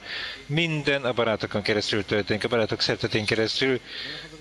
Oké, okay, minden a barátokban van. A barátok között van az Ensof, a barátok között van a Teremtő. Ez a legmagasabb hely, ahol a Teremtő megjelenik, azonban nekünk fel kell ezt fednünk. Hogyan tudjuk ezt felfedni? Azáltal, hogy először is beszélünk erről most is, hogy erre irányozunk magunkat, segítjük egymást, megnöveljük minden egyes barátnak az érdemét, látjuk, hogy milyen hatalmasak a barátok, és ezen a közös befektetésen keresztül megteszünk mindent, ami csak lehetséges annak érdekében, hogy felfedezzük, hogy ebben a környezetben, ahol mindenkinek megvan az életében, ebben a körülményben, ott képesek vagyunk felfedezni a teremtőt a legnagyobb környezetben.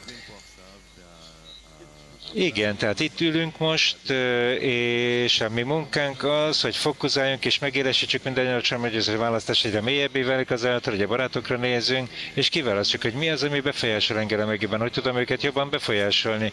Ez egész dolog, hogy csak az érdemeiket nézzük, hogy állandóan keressük, hogy mi az, ami befolyásol engem egyre inkább. Először látjuk a barátoknak a tulajdonságait, mindezek a dolgokat, amik lekapcsolnak minket, és akkor látjuk, hogy mi az, ami összekapcsol minket. Állandóan azt választjuk, hogy összekapcsoljuk, és hogy befolyásoljuk megtaláljuk egymást ezeken a dolgokon keresztül a barátainkban, és akkor beirányozzuk magunkat a cél fele még inkább. Oké, okay, tehát lényegében mi tanuljuk, hogy a spiritatás, a végső korrekció az csak egy tízesben történet. Tehát ez valóban e, nem jelenti azt, hogy egyik erről kell költölni a másikra, nem a testeket cseréljük, hanem a szándék az, hogy nagyobbá tegyük őket a szemünkben. Ezt nevezzük adakozásnak, hogy nagyobbá teszük a barátokat a szemünkben. Tehát, hogy gondoskodjunk róluk, fontosabbnak látjuk őket, többet fektetünk beléjük, e, még több szabadidőt fektetünk beléjük. Ezt jelenti azt, hogy mindig egy jobb környezetet választok, hogy a jellegi barátaimba fektetek többet. Igen, láthatjuk ezt egy negatív oldalról, hogyha egyik nap így ébredek, másik nap úgy ébredek, hogy eh, mit tudom én, ezt eh, hagyom, hogy a hangulatom befolyásolja engem, akkor megváltozik a környezet nagyon hamar azáltal, hogy én hogyan érzem magam, és akkor mit csinálnak? ez a kérdés az, hogy hogyan ébreztem föl aznap, hogy milyen hangulatom. Tehát pontosan ez az irányítás, hogy fölkészítsük magunkat minden egyes nap újra és újra, hogy lássuk őket, hogy még nagyobbak a barátaim a szememben. Hogy hogy magunkban több helyet teremtsünk a barátoknak, hogy még nagyobb mértékben emeljem a fontosságokat. Itt jön a felkészülés, a kölcsönös garancia persze, hogy nekünk állandóan előre kell haladnunk ezzel.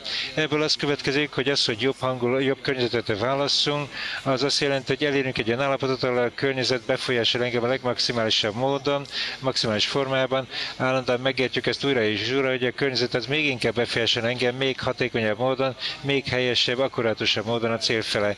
Mint, mint a fákon a levelek, amelyek állandóan változtatják a szív, színüket, ugyanígy minden egyes másodpercben, minden egyes körben a workshopban is egy állandóan változtatjuk, hogy egy kicsit jobban a környezet fele, a csoport fele, hogy állandóan befolyásolja minket. Ez egyetlen választási lehetőségünk. Igen, tehát az, aki megkapja a havi fizetését, ez a munkája még nem történnek, hiszen várta a hónap végét. Hogyha minden egyes nap az akarunk a barátoknak, de minden egyes pillanatban akarjuk kötetni őket a korrekcióhoz, lépés a lépésed, hogy az egész szívünket belefektessük, az összes elfedezést beletegyük, annak érdekében, hogy összekapcsoljuk a barátokat a teremtővel, teljes összeolvadásban, akkor mi valóban dolgozunk és egy jobb környezetet választunk, hiszen akkor, a munkából származik, akkor bármi, a teremtő dönti el, hogy mi történik meg a végén, de ad nekünk egy új feladatot a következő pillanatban, de minden egyes pillanatban valóban, minden egyes pillanatban egy erősebb, a legerőteljesebb erőfeszítést kell tegyünk, hogy összekapcsoljunk a barátokkal. Igen, én nézem a barátokat, és hogyha én elégséges energiát fektetek a barátokba, hogy oké, oké, okay, okay, hogy megpróbáljuk szeretni őket, amekkora mértékben lehetséges. Tehát egy rejtett erőket fedünk fel, minden inkább befektetünk a barátokba, jobban szeretjük őket, akkor kifejezetten ezáltal vagyok megjutalmazva a a következő resimó megjelenítésével, és akkor még nagyobb gyűlöletet, taszítást érzek, és akkor megint választhatom a környezetet, még nagyobb hidegséget, nehezülés, sötétséget érzek, és akkor a következő színnek ugye az alsó szintjére zuhanunk be, akkor megint csak növelnem kell őket a szemembe. Minden alkalommal újra és újra, még inkább a környezetbe lököm magamat, és akkor az egyáltalán befolyásol engem, és ezt nevezzük úgy, hogy egy helyes környezetet válasszuk.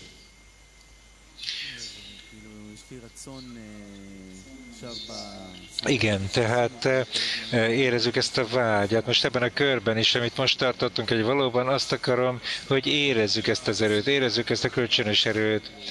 Eh, a Ballassulam, aki leereszkedett hozzánk, aztán Rabason, a Ravon keresztül a workshopon. Érzem, hogy a workshop az a legerőteljesebb dolog, amit megkaptunk. Ez egyszerűen elképesztő. Mindenki most itt ül a workshopon együtt. Én nem is tudom, állandóan bekehelyezem magam a workshopon. Állandóan a workshopon kell éljünk, hogy megtartsuk egymást. Egy állandó workshopon kell éljünk, mivel nyilvánvalóan ez a lehető legjobb környezet, amit csak el tudok képzelni magam számára.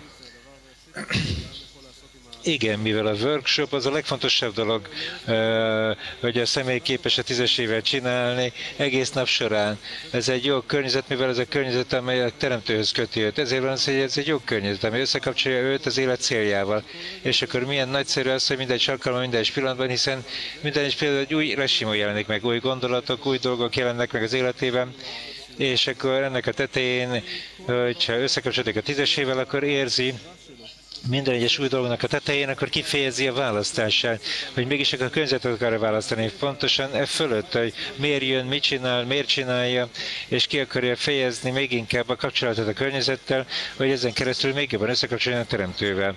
És akkor, amikor a szerencsénk az, hogy a workshopban, amikor összekapcsolódunk, akkor vannak ezek a pillanatok, amikor összekapcsolódunk, és akkor megkapunk valami fajta ízt, megkapjuk az ízét, mert egyébként nem választanánk azt mindegyes alkalommal. Tehát mivel el, hogyha nem születnénk egy szívbentartó ponttal, hogyha nem lenne bennünk ez a szikra, ez a vágy, vagy valami inspirációt érezzünk a szívbentartó pontban, a közöttünk kapcsolatban, akkor nem lennénk képesek egy olyan körzetben lenni, ahol ki akarjuk ezt választani állandóan, hiszen enélkül kicsin dolog nélkül bennünk, amely akar valamit, ami túl van a megszerzés vágyon keresztül, hogy mindent a magunk számára akarunk, akkor állandóan egy környezetet kell választunk, ami egyre egoisztikusabb, hogyha Rav. Drága barátaim, mondja most üljetek le, ne ugorjatok fel, mondja Mi most, mi most kérdések, válaszokba kezdünk, és én azt akarom, hogy megértsetek engem, mondja Én látom a kérdéseket, válaszokat, mint egy nagyon fontos része a leckének, mondja Ez egy nagyon-nagyon fontos része a leckének. Ennél fogva egy nagyon-nagyon komoly módon közelítsetek a kérdésekhez, amikor kérdeztek, és csak is annak alapján kérdezetek, amin mi most keresztül mentünk, tehát csak a témára vonatkozóan kérdezetek, és nem valami, ami éppen csak az eszetekbe került, vagy valami, ami éppen jól esik, hogy kérdezzél, tehát nagyon fontos, hogy csak a témára vonatkozóan, és hogy hallgassatok, figyeltek oda, hogy vigyeltek oda, amit a barát kérdez, mivel ez része az árvótnak, amiről most tanultunk, és ugyanígy, hogy, hogy figyeltek oda, amit én válaszolok, hiszen az sokkal fontosabb, mint az egyszerű magyarázat, amit a során kapunk. Tehát beépülünk a a válasz kérdésébe, és egy beleépülünk a válaszba, amit a Ravez azt, azt okozza, hogy még nagyobb kapcsolat jön létre közöttünk, amit ha megértjük jól, akkor az képes minket tovább tolni a célunk fele. Tehát hallgassuk meg a barát kérdését, és utána épüljünk bele a kérdésébe, és utána épüljünk bele arra a válaszába. Most nem megyünk el, nem ugrálunk fel, hanem folytatjuk tovább a leckét, ez a lecke része. Odafigyelünk a leckére, odafigyelünk a kérdésekre, barátok kérdésére, és a tanár válaszára. Tehát nem ugrálunk föl, nem megyünk el. Jönnek a kérdések.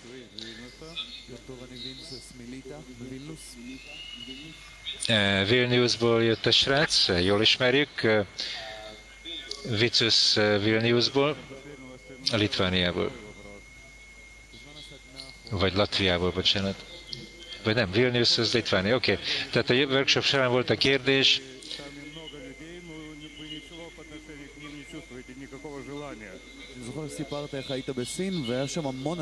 Emlékszem, arra elmesélte nekünk, hogy amikor Kínában volt, akkor nagyon sok ember körülöttük, de úgy érezte, hogy nincsen érzés, nem érzed őket.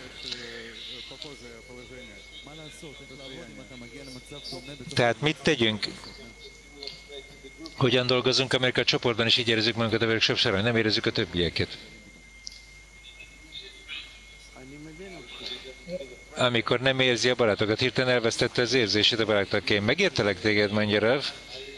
Én a Kínáról úgy beszéltem, amikor uh, úgy belemerültem, úgymond uh, én beleépültem valami valami nemzeti ünnep volt, valami a Pekingnek a főterén volt valami nagy, több milliónyi ember volt ott, és valami híres ünnepet ünnepeltek, és észrevettem, hogy nem éreztem semmilyen aviutat, semmilyen nyersességet nem éreztem rajtuk, de amikor egy csoporthoz jövök, akkor nem számít, hogy milyen csoporthoz, akár az egyik távolabbi csoportunkhoz is, de valamelyik csoportunkhoz, amikor valamelyik csoportunkkal találkozunk, akkor ilyen dolog soha nem történt meg velem, hogy nem éreztem volna aviutot, vagy nem éreztem volna ilyen érzelmi hullámzást. Ilyen nem történt meg velem, hogy semlegesen éreztem.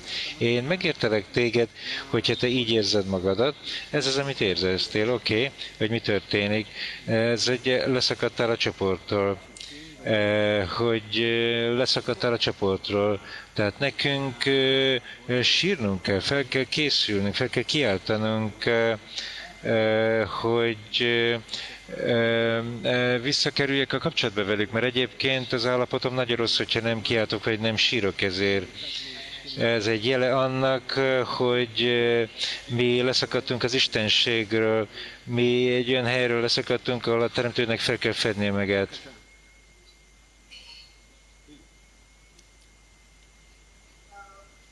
Hello, Rav. I'm Sheila Elliott. Hello, Rav. Én Sheila Elliott vagyok az Egyesült Királyságból.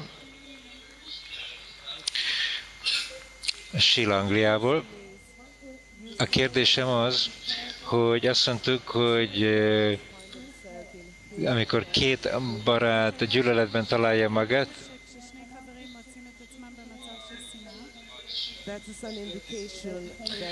ez egy jele annak, hogy a lélek lezárult, és és hogy valószínűleg ezt átéltem most a csoporton keresztül. Amit szeretnék megkérdezni, hogy amikor a barátok egy ilyen gyűlöletben találják magukat egymás fele,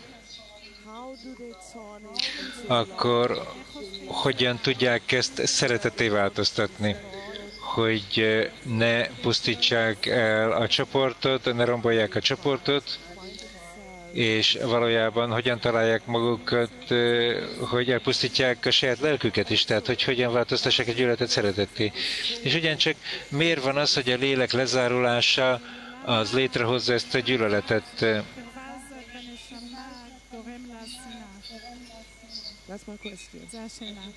Ez a kérdés. Igen, hallom a kérdést, mondja Rev, értem a kérdést hogy mit is csináljunk ezzel kapcsolatban. Először is nyilvánvaló, hogy, az történik, ezt érzitek. Tehát, hogyha két ember, két ember eljön egy csoporthoz, és a csoporton belül csoporton belül a tanulás folyamat, az önkorrekció alatt valahogy közelebb kerülnek a reformáló fényhez, akkor ők felfedezik ezt a gyűlöletet egymás között, akkor mit fedeznek föl? Hogy a pusztulás előtt, a rombolás előtt közel voltak egymáshoz. A, a, a, a pusztuláson keresztül ők szétszakadtak, ez mindig így van. Az, aki korábban közel volt, az nagyon eltaszoltodik egymástól, és ugye minél közelebb voltak egymáshoz közel a gyűlöleten keresztül, annál távolabbra robbannak szét egymástól a távolság vagy a közelségnek az intenzitása az egyezik. Hát pont amilyen mértékben közösen voltak korábban, annál messzebb kerülnek, ugyanolyan messzire kerülnek a robbanás után mit tehetünk? Hát beszéljünk erről. Tehát, hogyha most éppen gyűlöljük egymást, akkor az annak a jele, hogy a mi forrásunkban mi szerettük egymást korábban, és nézd meg, hogy a Rabbi Simon tanítványai, hogy mekkora mértékben gyűlöletet fedeztek fel egymás között a lecke előtt, mielőtt elkezdtek tanulni, és képesek voltak a tanulás során felemelkedni ezen, és olyan mértékben összekapcsolódni, hogy utána felfedezték az Acilutnak a gár szintjét, és megírták az Ohár könyvét ezen keresztül az egyik a másikkal szemben. Tehát ez nagyon egyszerű. Pontosan olyan megkérdezik, mert össze voltunk kapcsolatban, akkor mértékben gyűlöljük egymást, és vice versa.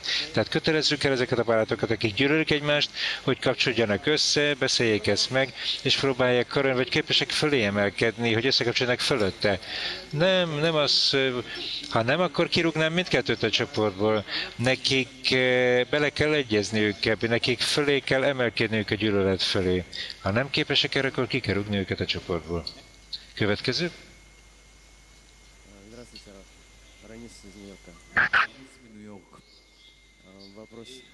Uh, Ranis, Ranis New Yorkból, oroszul семинаре я столкнулся очередной раз с этой проблемой, и до сих пор я не, мог, не, не, не могу никак найти наиболее эффективное решение.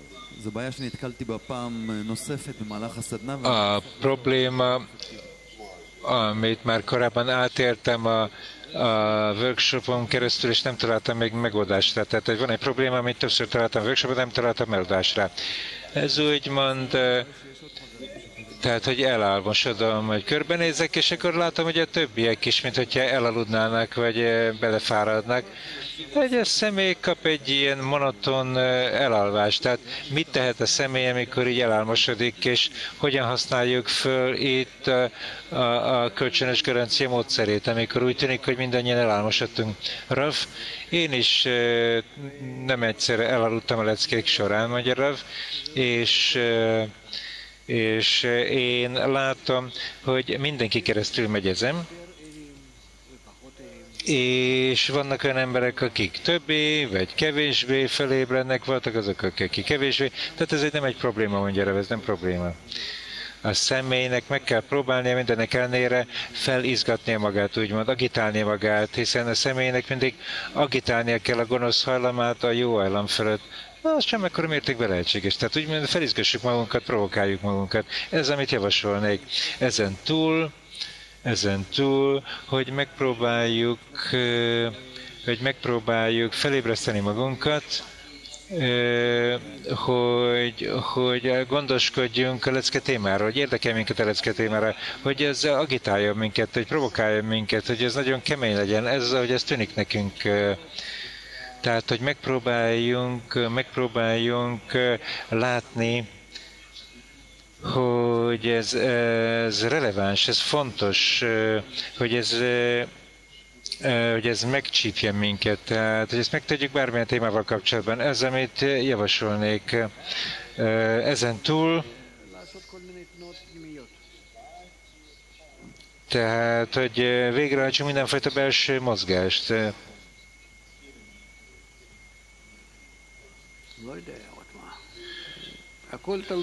Én nem tudom, mi mást mondhatnék, de minden a vágyon múlik. Hogyha a személy ellenáll, akkor, hogyha ellenáll ennek az alvásnak, vagy az álmosságnak, akkor megtalál mindenfajta eszközt, hogy ezt legyőzze.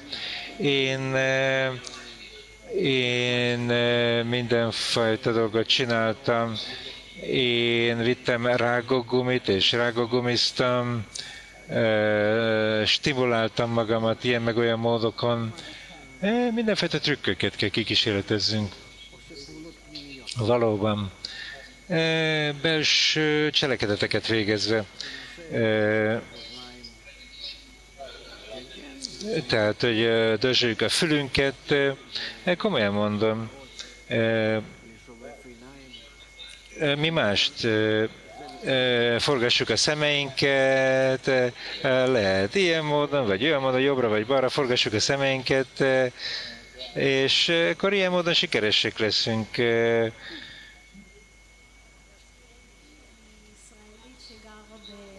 Hello, Rav, Etienne vagyok, izraeli, de Varsóban élek, én tanulok kabalát, velem együtt ketten tanulnak. Az egyik Ukrajnából, egy másik pedig egy olasz hölgy. Az egyetlen közös nyelvünk az az angol, és megpróbálunk kapcsolatba lépni a helyi csoporttal, ami nagyon szét van szakadva, a lengyel csoport, egész Európán keresztül, meg több országban is nem igazából működik. Szeretném tudni, hogy van-e valaki itt, aki lengyel, hogy van -e egy csoport, és hogyha vannak, hogyha nincsen, akkor mit javasolsz, hogy mit csináljunk? Hogy létrehozunk egy csoportot, vagy mindenki máshol kapcsolódjon, Izraelben, vagy az saját, én nem tudom, mondja Rav, én nem tudom, itt ez egy probléma, mondja Rav, hogy amit nektek kell megoldanatok a három hölgynek, oké, okay? nektek kell megoldanatok ezt a problémát, én nem tudok ebben segíteni, mondja Rav. E, nekünk e, ezt ki kell találjuk, vagy meg kell vizsgáljuk, én nem tudom. Tehát keressük a megoldást, keressük a megoldást, Kérdezzétek meg az embereket, akik a koordinátorok, vagy lehet, hogy ők képesek választ adni erre. Én nem tudok erre megoldást adni, csak így a fejem tetejéről. Tehát oké. Okay. Hogyha, hogyha megkérdeztek engem a tanulásról általában, akkor mondhatom azt, hogy keressünk egy erős csoportot, keressél egy nagyobb csoportot, amekkora mértékben lehetséges, hogy egy erős csoport legyen körülötted, és olyan központi, amekkora mértékben csak lehetséges hogyha, hogyha az országban, ahol vagy hol is van, ez Lengyelország, Lengyelország, Varsó, hogyha ott nincsen egy ilyen erős csoport, és, és úgy tűnik, hogy lehet, hogy nem lesz hamarosan ott egy erős csoport, akkor, akkor nézzétek meg, hogy mit lehet tenni. Én nem tudom. Nincs megoldásom, mondja Raf. E, végezetek ti számítást, hogy miért vagy ott, hogy érdemes-e ott maradni, vagy sem. Oké, okay, következő. New Yorkból. Tehát Mordechai megint a Quincy csoportból. Kérdése leckére alapozva. Lehetséges imádkozni magamért, hogyha ez azt jelenti, hogy én javítom a csoportot? Tehát, hogy lehet-e magamért imádkozni, hogyha segíti a csoportot? Még egyszer, még egyszer. Mi a kérdés?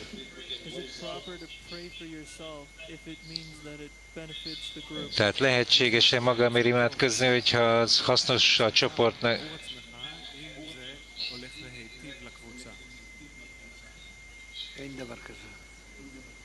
Ilyen dolog nem létezik, mondja. Ilyen dolog nem létezik. Az lehetetlen, egyszerűen ez lehetetlen. A személy, aki magáért imádkozik, nos, oké, okay, hadd imádkozzál, de akkor semmilyen spirituális hasznod nem lesz belőle ez nem az, amit én mondok, ez nagyon sok, ez nem csak én mondom, ez nagyon sok forrásban van. Csak is a többség imája, azaz a többség ér, ez az, ami működik, csak is a másokért való ima működik. És a többség ér, az azt jelenti, hogy pontosan azt jelenti, hogy ne tudjuk manipulálni, vagy kifacsarjuk, hogy oké, okay, oké, okay, mégis egy kicsit magamért, hogy én szívességet teszek nekik, nem, ilyen dolog nem létezik. Vagy a többségért imádkozom, vagy semmi. Tehát ezért van ez ilyen élesen kifejezve, mert nincs más megoldás mi korrekcióról beszélünk, spirituális törvényekről beszélünk, komoly korrekciókról, amely csak is az adakozás erején keresztül ami a személyen kívül van, a személy, személyen kívül létezik, és akkor egy ilyen módon a személy korrigálja a lelkét, ami nem benne van, hanem másokban. Hogyha a saját egóját akarja korrigálni, oké, okay, mindenfajta jobb egót akar maga számára, hogy gondolja, hogy még mindig marad magából valami, akkor az már nem spiritualitás. Én nem létezem a spiritualitásban, akkor az nem releváns a kabala tudományához. Következő. Hello, Ralph. Én Lea vagyok Hollandból. A kérdésem a következő. Hogyha mi imádkozunk a barátokért, annak érdekében, hogy tovább léptessük magunkat, Tehát kérik a fordítót, hogy ne e, szimultán fordítson, hanem e, egy az egyébe. Tehát, hogy először hagyják, hogy ne beszéljen, és utána fordítson. Tehát újra kezdjük a kérdést. Tehát, hogyha a többiekért imádkozunk, annak érdekében, hogy mi tovább lépjünk, akkor az nem egy egyszerű egoisztikus számítás. Persze, hogy ez egy egoisztikus számítás, és nincs is pereszítés, nincs is miről beszélnünk, nincs miről kérdezni. Oké. Okay. Hogyha azért imádkozok megint csak a többiekért, hogy aztán én tovább lépek, akkor az megint csak egoisti. Nekem ki kell maradnom ebből. Hello, Rav, Anna Pier Hollandiából. Anna Pér Hollandiából. És a kérdés, hogy hogyan fedjük fel a gyűlöletet, a gyűlölet felfedésére. Hogy egy különleges helyzetben, amikor mi kimegyünk és terjesztünk, és a 99%-kal építünk egy kapcsolatot, annak érdekében, hogy projekteket csináljunk,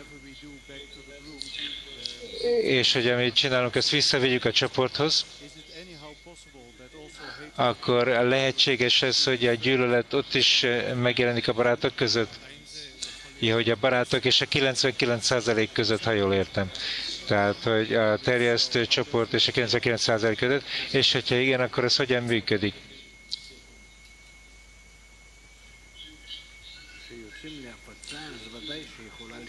Amikor még kimegyünk terjeszteni, akkor természetesen a gyűlölet megjelenhet azok között, akik a csoportban vannak, és azok között, akik a csoporton kívül vannak, tehát azok között, akiknek terjesztünk, de Nos, keresztül kell menni ezen, majd később már nem fogunk gyűlöletet találni. Én tudom magamról is én is mentem, terjesztettem nagyon sokat. Még mielőtt a rabashoz eljöttem volna, én már akkor is adtam leckéket, próbáltam terjeszteni. Mm. És én azt hiszem, hogy ez valami olyasmi, aztán elmúlik. Mi elkezdjük érezni azt a 99%-ot elkezdjük megérteni, hogy ez lehetetlen bármilyen más módon, és ez az, ami megtörténik velük, összességében lehet, hogy ez a mi hibánk is, hogy ilyen egoista villongások jelennek meg, és hogy alaptalan gyűlöletben léteznek egymás fel, ez ugye a mi hibánk is, és a mi korrekciónk az korrigálja majd őket is, és akkor ők maguk képtelenek korrigálni magukat. Ennél fogva ennél fogva nincs oka annak, hogy gyűlöljük őket, hiszen minden rajtunk múlik, és így tovább, és így tovább. Tehát én azt hiszem, hogy mindenek ellenére ki kell mennünk, terjesztenünk kell, és e, e, a helyes megértés ennek a dolognak, hogy, e, tehát, hogy a személyhez úgy kell viszonyulni, mint aki beteg, mint hogyha beteg lenne. Ez az attitűd majd megjelenik, hogy a többieket úgy kell nézzünk, mint amik még betegek, úgy kell forduljunk hozzájuk, mint hogyha kezelnénk őket, mint egy orvos. Én már hosszú ide nem érzek személyes gyűlöletet bármilyen csapattal, vagy csoporttal, vagy emberrel kapcsolatban, akik, eh, akik nincsenek a kabala keretein belül, hiszen hogyan érezhetünk gyűlöletet felé, milyen szabad választásuk van, hogyan viszonyulhatnánk hozzájuk egy ilyen módon, E, gyűlölettel, hogyha mi vagyunk azok, akik felelősek vagyunk-e, mi okozzuk azt, hogy ők ilyen helyzetben legyenek, hiszen én vagyok az, aki ezt okozom, én vagyok az, aki ezt okozza, hiszen csak nekem van szabad választásom, ez nem az ő hibájuk. Ők csak egy kivetülése a mi korrekciónknak, vagy a mi korrekciónk hiányának, tehát nincs miért gyűlölni őket, vagy negatívan érezni feléjük, hiszen csak mi befolyásoljuk az ő állapotokat.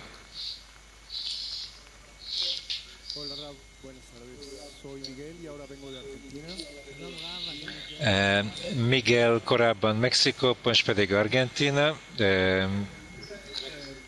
Eh,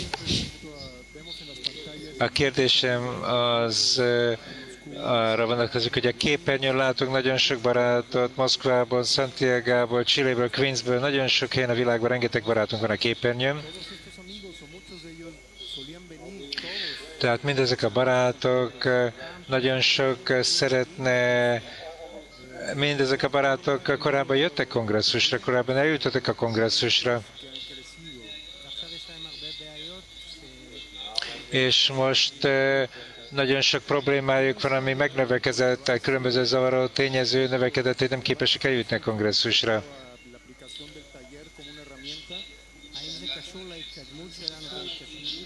Tehát ez viszonyul a mi haladásunkhoz, és a, a workshopnak a fejlődéséhez, vagy a workshop működéséhez. Nagyon sok oka van ennek, mondja Rav. Először is a világ az válságban van, és az embereknek sokkal nehezebb kifizetni a repülőjegyet, a kongresszusárat, hogy ilyen messzire utazzanak. Ez az egyik dolog. A második, a második az, hogy mivel mivel a gazdasági nehézségek miatt ma mi azt javasoljuk, hogy inkább regionális kongresszusok legyenek a világ minden részén, hogy az emberek oda közelebb utazhassanak. Ahogy ez volt tavaly is, ugye Moszkvában, volt Dél-Amerikában, Odesszában, New Jerseyben, Los Angelesben is volt, ugye Dél-Amerikában is több országban elmentek ravék, és most lesz majd egy megint köre a kongresszusoknak. Márciusban már bejelentettek egy német kongresszust, azt hiszem 17-től utána májusban Amerikában, e, júliusban Szentpétervárot. Ez jobb, e, tehát mit tudom én, négy-öt ember repül, 500 helyet, tehát hát csak pár ember jön el Izraelbe. Persze, hogy könnyebb, amikor kisebb számú ember jön, és és mivel a, a kommunikáció, a kapcsolat, ami az interneten keresztül lehetséges. Most is látjuk, hogy nagyon sok helyen vannak a tükörkongresszusok, hogyha helyesen elrendezték magukat, és valahol leülnek és hallgatnak, és nem szaladnak szana széjjel, akkor én nem hiszem, hogy hogy bármilyen más eredményük lenne, mint amit mi érzünk itt. Az, azok, akik itt ülnek, minden a személy komolyságán múlik, és hogy milyen kapcsolatot hoztak létre otthon. Épp ellenkezőleg, hogyha minden ok ellenére, hogyha az összes nehézség ellenére mégis kapcsolatot tart a többiekkel, akkor lehet, hogy még többet nyer, mint azok, akik itt vannak. Ennél fogva, ennél fogva, én nem hiszem, hogy ez egy probléma és mi mindenek ellenére e, meg kell tegyük az összes helyes felkészülést ennek érdekében, hogy állandó kapcsolatban legyünk mind a mindennapos leckéken, és ugyanígy e, ezeken a kongresszusokon is e, még, még akár a messzi távolságból is. Én nagyon boldog vagyok, hogy látom, mondja ezeket az embereket nem csak, hogy a kongresszusokon, hanem hogy részt vesznek a reggeli leckéken. Ez még fontosabb, hogy minden egyes nap, amikor én megpróbálok minden egyes leckén egy különleges dózist adni, spirituális dózist adni, Nézd, hogy a kongresszus előtt egy hónappal már elkezdtünk felkészülni, különleges leckéken keresztül, két nappal ezelőtt, tegnap, azok az emberek, akik már korábban megjöttek, ugyan pár nappal a kongresszus előtt, ők együtt maradtak velünk a központban, ők ugyancsak kaptak workshopokat, leckéket, tegnap már egy nagyon különleges workshop volt, és javaslom mindenkinek, hogy nézzék meg, és így tovább, és így tovább.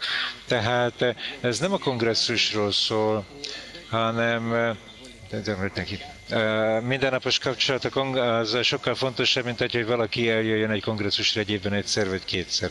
Tehát a mindennapi leckéken való kapcsolat sokkal fontosabb, mint az, hogy valaki egyszer egy évben elmegy egy kongresszusra de akkor persze, hogy részt veszünk a workshopban, meg mindenben. Hello, Floridából jött a hölgy. Lori a floridai csoportból.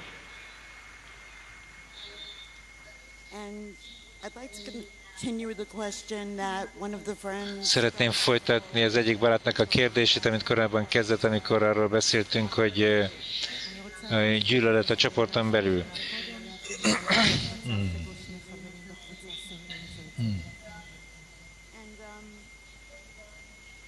És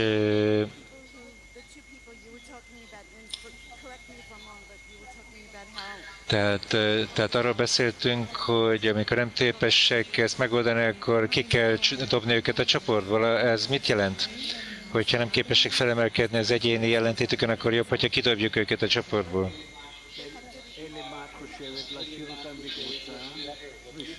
Mit gondolsz, hogy hagyjuk őket a csoportban, hogy ők a gyűlöletükön keresztül rombolják a csoportot, hogy állandóan ott legyen, mint egy ilyen be nem gyógyuló seb?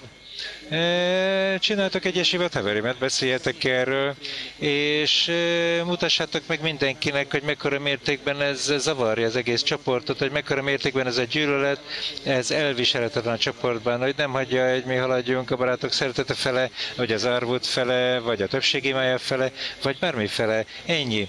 Amikor én azt mondom, hogy, ö, hogy nekünk el kell távolítani őket a csoportból, ez azért van, mert mert nem engedik, hogy a csoport tovább lépjen. Visszahúzzák a csoportot, károsítják a csoportot az egyéni gyűlöletükkel. Hogyha ezek a baróban valóban jó szándékuk van, akkor nem akarnak kárt okozni. Ralf, Ralf, ez nem érdekes, mondja, ez nem számít. Hogyha gyűlölik egymást, akkor tilos, hogy a csoportban maradjanak. Nem, nem a gyűlöletből megyünk a szeretetre?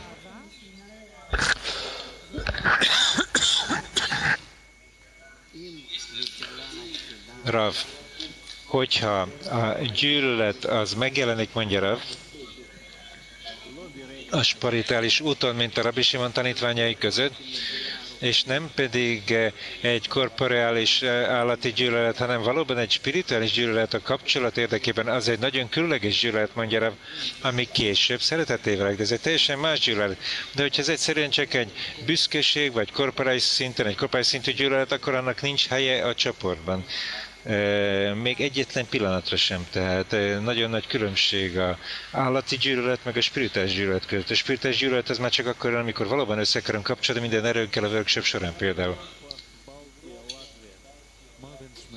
Következő srác a Baltik csoportból, Lat, Lit, Latviából,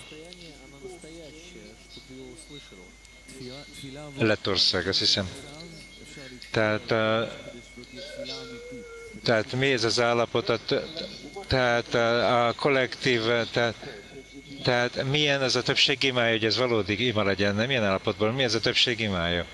Pontosan mit jelent a többség imája, ha jól értettem? Giri egy kicsit későn érkezett, hogy az angol fordítást átadja, tehát ha jól értem azt, hogy mit jelent pontosan az, hogy a többség imája, a többiekért imádkozunk. Ja, nem volt válasz? Ezt nem értettem. Oké. Okay. Olaszországból, Marko Olaszországból. Több mint 40-en jöttünk Olaszországból, és több mint százan jöttünk Európából összességében. Siamo responsabili di quello che succede nel mondo? Io questa cosa non la sento. A kérdésem az, hogy hogyan érezhetem, hogy felelős vagyok azért, ami a világban történik. Egyelőre nem érzem a felelősségemet a világ fele. Hogyan érezhetem a felelősséget a világ fele?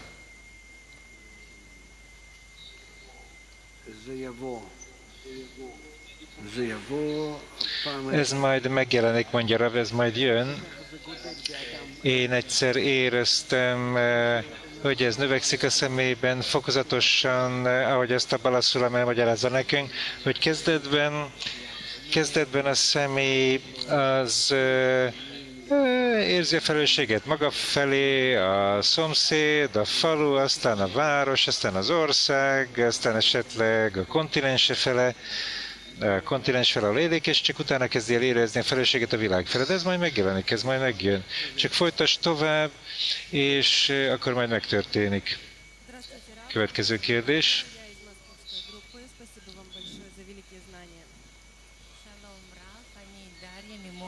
Hello, Rav. Dária, Moszkvából köszönjük szépen a tudást, amit átad nekünk.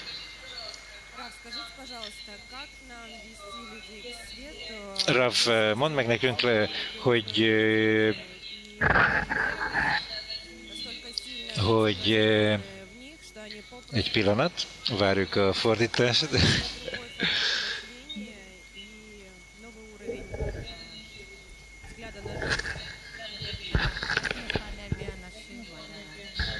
Ralf, hogyan hozhatjuk az embereket, új, akiknek új véleménye van, vagy ö, ezt nem értem, ezt nem értettem sajnos. Tehát hogyan tartsuk az embereket ebben a keskeny világban, akiknek a régi véleményük van, ha jól értettem? освободились от внешних рамок э, и попросту не можем быть э, чистыми проводниками.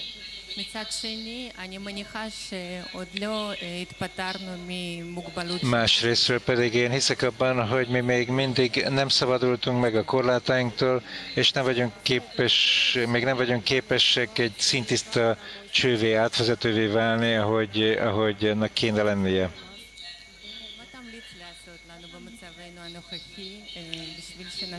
Tehát akkor mit javasolna arra, hogy mit tegyünk ebben a jellegi állapotban, hogy befolyásoljuk a publikum véleményét, amikor még nem vagyunk képesek ilyen eh, szintiszta csővé válni. Én nem tudom, mondja Rav, gondolkodnunk kell ezen, mondja Rav. Eh, hogy milyen módon menjünk közelebb a publikumhoz, hogy odafigyeljünk rájuk. A publikumnak mindenfajta stigmája van, előítélete van. Különböző vallásokban vesznek részt, különböző hiteket tart, találnak ki. Ez egy probléma, mondja ez egy probléma. De ezt finoman kell csináljuk. Nézzük meg, hogy lehetséges-e vagy sem. Én azt hiszem, hogyha csak az emberek közötti kapcsolatról beszélünk, a kapcsolatról, és ez a kapcsolat ez nem a kabala bölcseletéből jön, hanem ez egyáltalán nem a kabala bölcseletéből, hanem mi arról beszélünk, hogy hogyan tudjuk az embereket eh, összekapcsolni egymással, és eh, hogy hogyan tudunk kinyílni feléjük a workshopon keresztül, amikor a workshop arról szól, hogy a kapcsolat, eh, a viszonyok egymással, hogy ilyen kellemes, jobb, tehát egy olyan módon képesek vagyunk a publikum felemelni mindenfajta korlátok nélkül. De de hogy a kabala bölcseletéről beszéljünk, természetesen nem tudunk arról. Én nem javaslom azt, és én nem hiszem, hogy van helye ennek. E, Talán az interneten keresztül, hogyha az emberek hallani akarják erről, vagy olvasni akarnak, vagy érdeklődnek, akkor megtehetik. De nem az, hogy mi erőltetjük nekik, hogy ezt közvetlenül csináljuk, erőltetve hogy így nem terjeszthetjük a kabala bölcsetet, mint tudom Moszkvában, vagy valahol máshol, ez nem, ez, ennek nincs értelme. Ez nem hoz jó eredményt. Csak az interneten való terjesztés inkognitóban úgymond az segít, inkognitóban. Ez nem a kabala bölcseletét, hanem a kapcsolat bölcseletét. Oké, okay, következő. Oké, okay. Hello, drága, bara, drága Rav, Jani Askelomból lenne egy érdekes kérdésem, mondja Jani Askelomból. Köszönöm mindenkinek.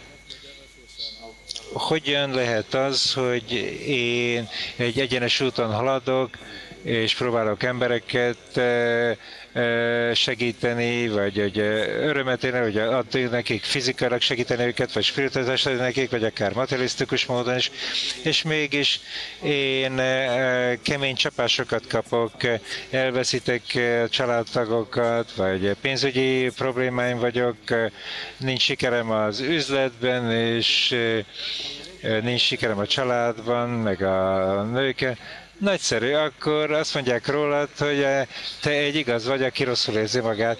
Az igaz, aki szenved.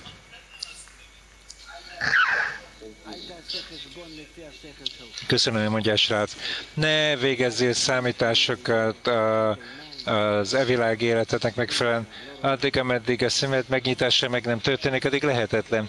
Nem látod a helyes számításokat. Egyszerűen menjél tovább, ahogy ezt mondja, hogy hogy olyan közel kerüljél, ahogy csak lehet ahhoz, amit a Kabala bölcselete javasol, és akkor a számítások majd megtörténnek, a helyes számítások.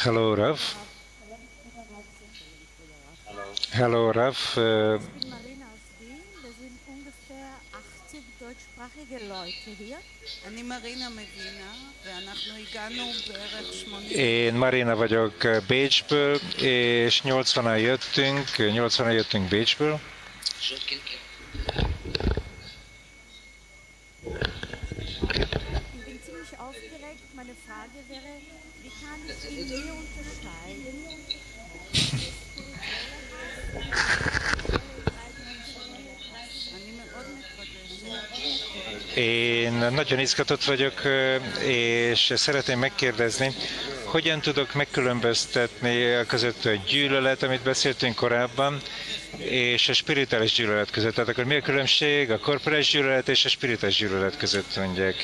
Tehát ugye Ravesz mondta, hogy van különbség. Tehát kérdés az, hogy mi? A spirituális gyűlölet az egy olyan gyűlölet, amely a csoporton belül jelenik meg, amely amely meg, ami időnként jön. Egyszer gyűlölködünk, egyszer szeretünk, egyszer megértjük, hogy, hogy ez valóban felülről jön, máskor pedig azt hiszük, hogy van egy korporális igazolása annak, amikor az emberek úgymond ebben az állapotok változásában vannak. Ez egy jele annak, hogy, hogy spirituális gyűlölet jelenik meg, míg hogyha ez egy korporális gyűlölet, akkor az mit tudom, az egyik nem viseli el a másikat, mindenfajta szokása miatt, vagy hogy olyan beszél, vagy mert személyes ellentétük van, valami, amit nem szeretünk a másikban, és általában ez egy állandó gyűlölet, ez egy olyan gyűlölet, ami nem jön meg megy, hanem ez egy állandó gyűlölet. Hello, Rav. Hello, Rav, mondja a következő. Sam Los Angelesből.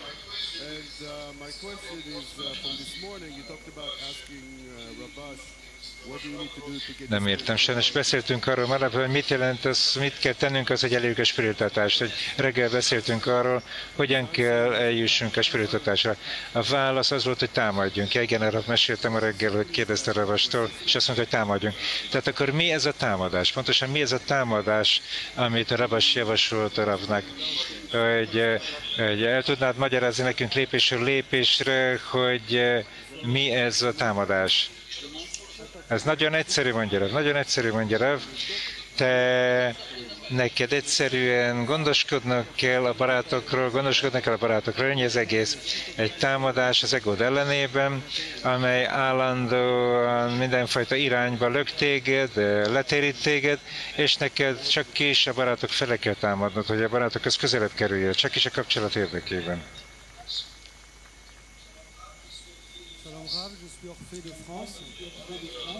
Francia kérdés.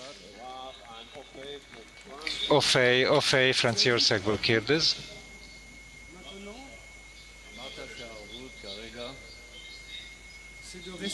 Tehát azt mondtuk korábban, hogy az árvót, a kölcsönös garancia, az, az arról szól, hogy, hogy megmaradjunk azokban a kérdésekben, amit a lecke során hallottunk, hogy állandóan azokat ismételgessük és beszéljük, és és én nem érzem, hogy ez megtörténne.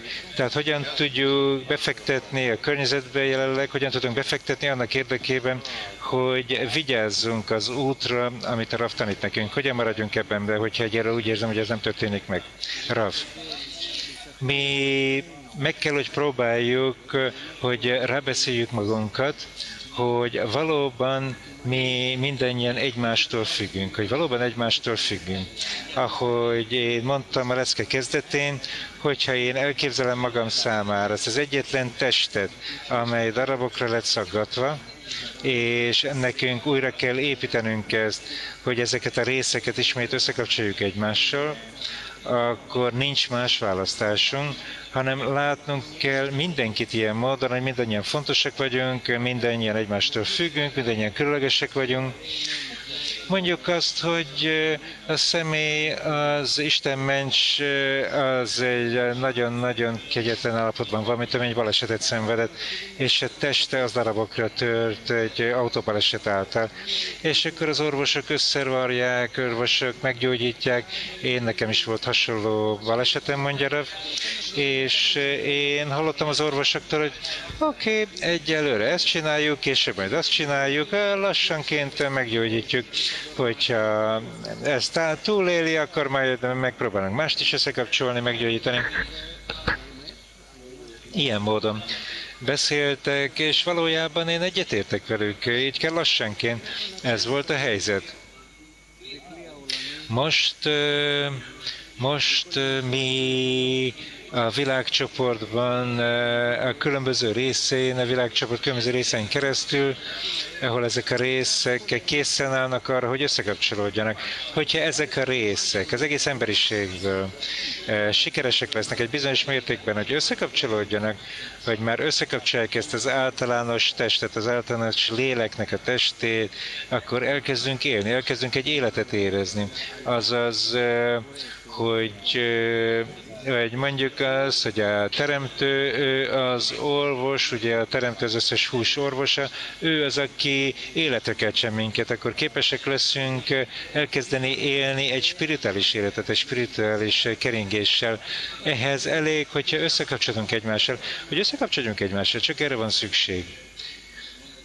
Amekkora mértékben lehetséges, amennyien csak lehetséges, hogy mi itt vagyunk a kongresszuson, a barátainkkal, hogy az egész világ együtt van velünk. Ez már a legfontosabb része ennek a testnek, és akkor ez elkezdi ezt a munkát. Ennyi.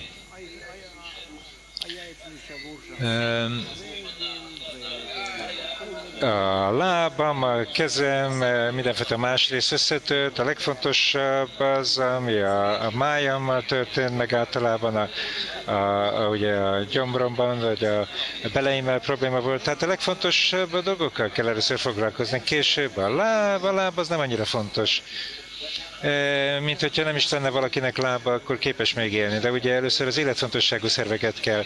Ez az, ahogy megértjük, hogy a teremtő elrendez minket. Mi vagyunk a legfontosabb testrészek, mi vagyunk az élet fontosságú testrésze ennek a, az egész emberi testnek, a bneibarok, és hogyha mi elrendezzük ezt a kapcsolatot egymás között, akkor elkezdhetjük érezni ezt a testet, hogy az életben van, akkor elkezdődik ez a szívlüktetés, a keringés. A többi testrészt az majd fokozatosan szorosan kapcsolódik. Tehát akkor tegyünk egy erőfeszítést, hogy életre keltsük ezt a testet, eh, velünk kezdve.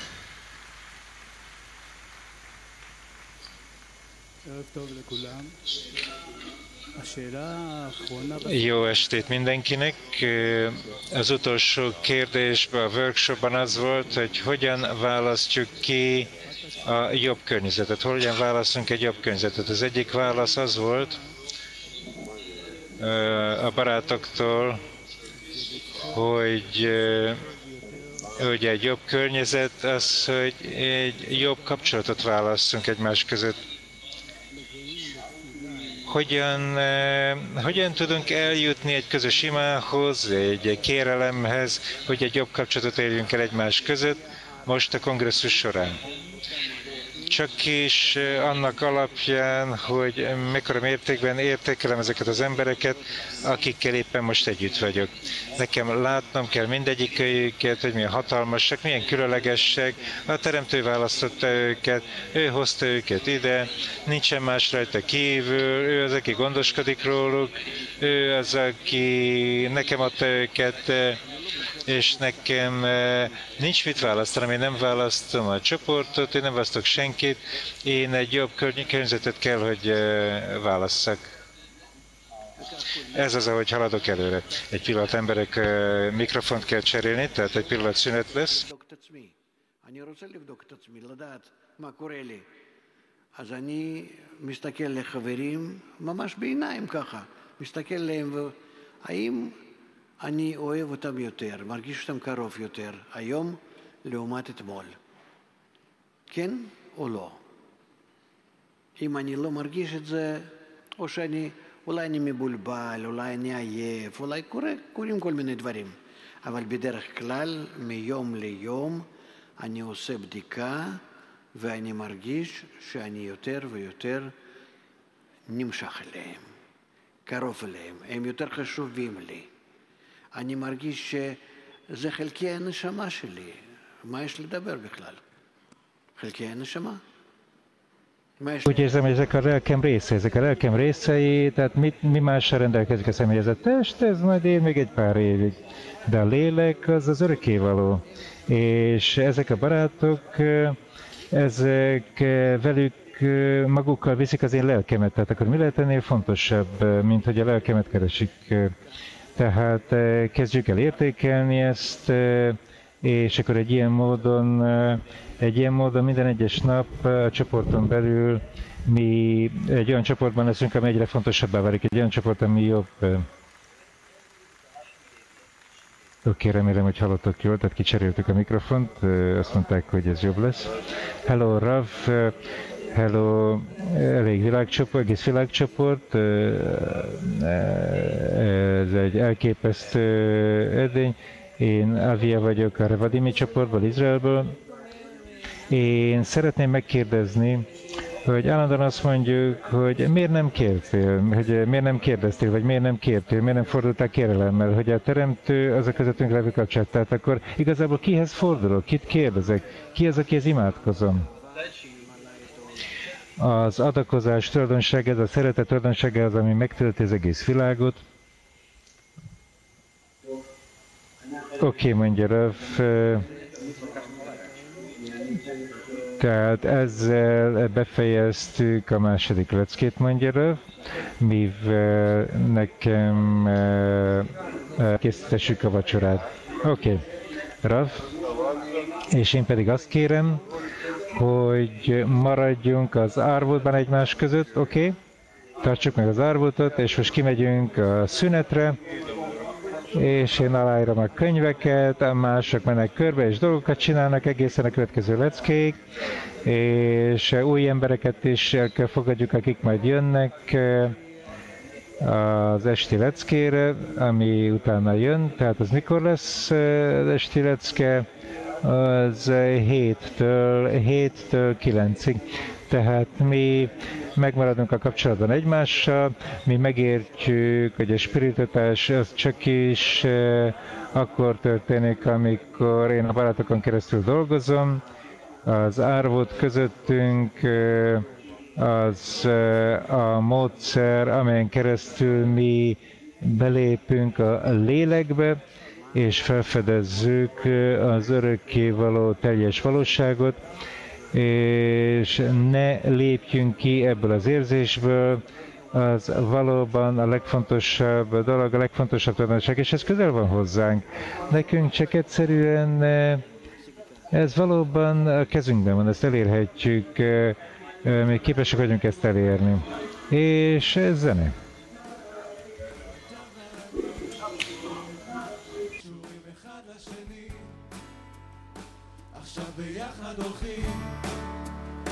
אל העולם נפתחים, אתה ואני, קשורים בלב הכללי, כולנו כבר מסכימים, ערבות ניתנה לחיים.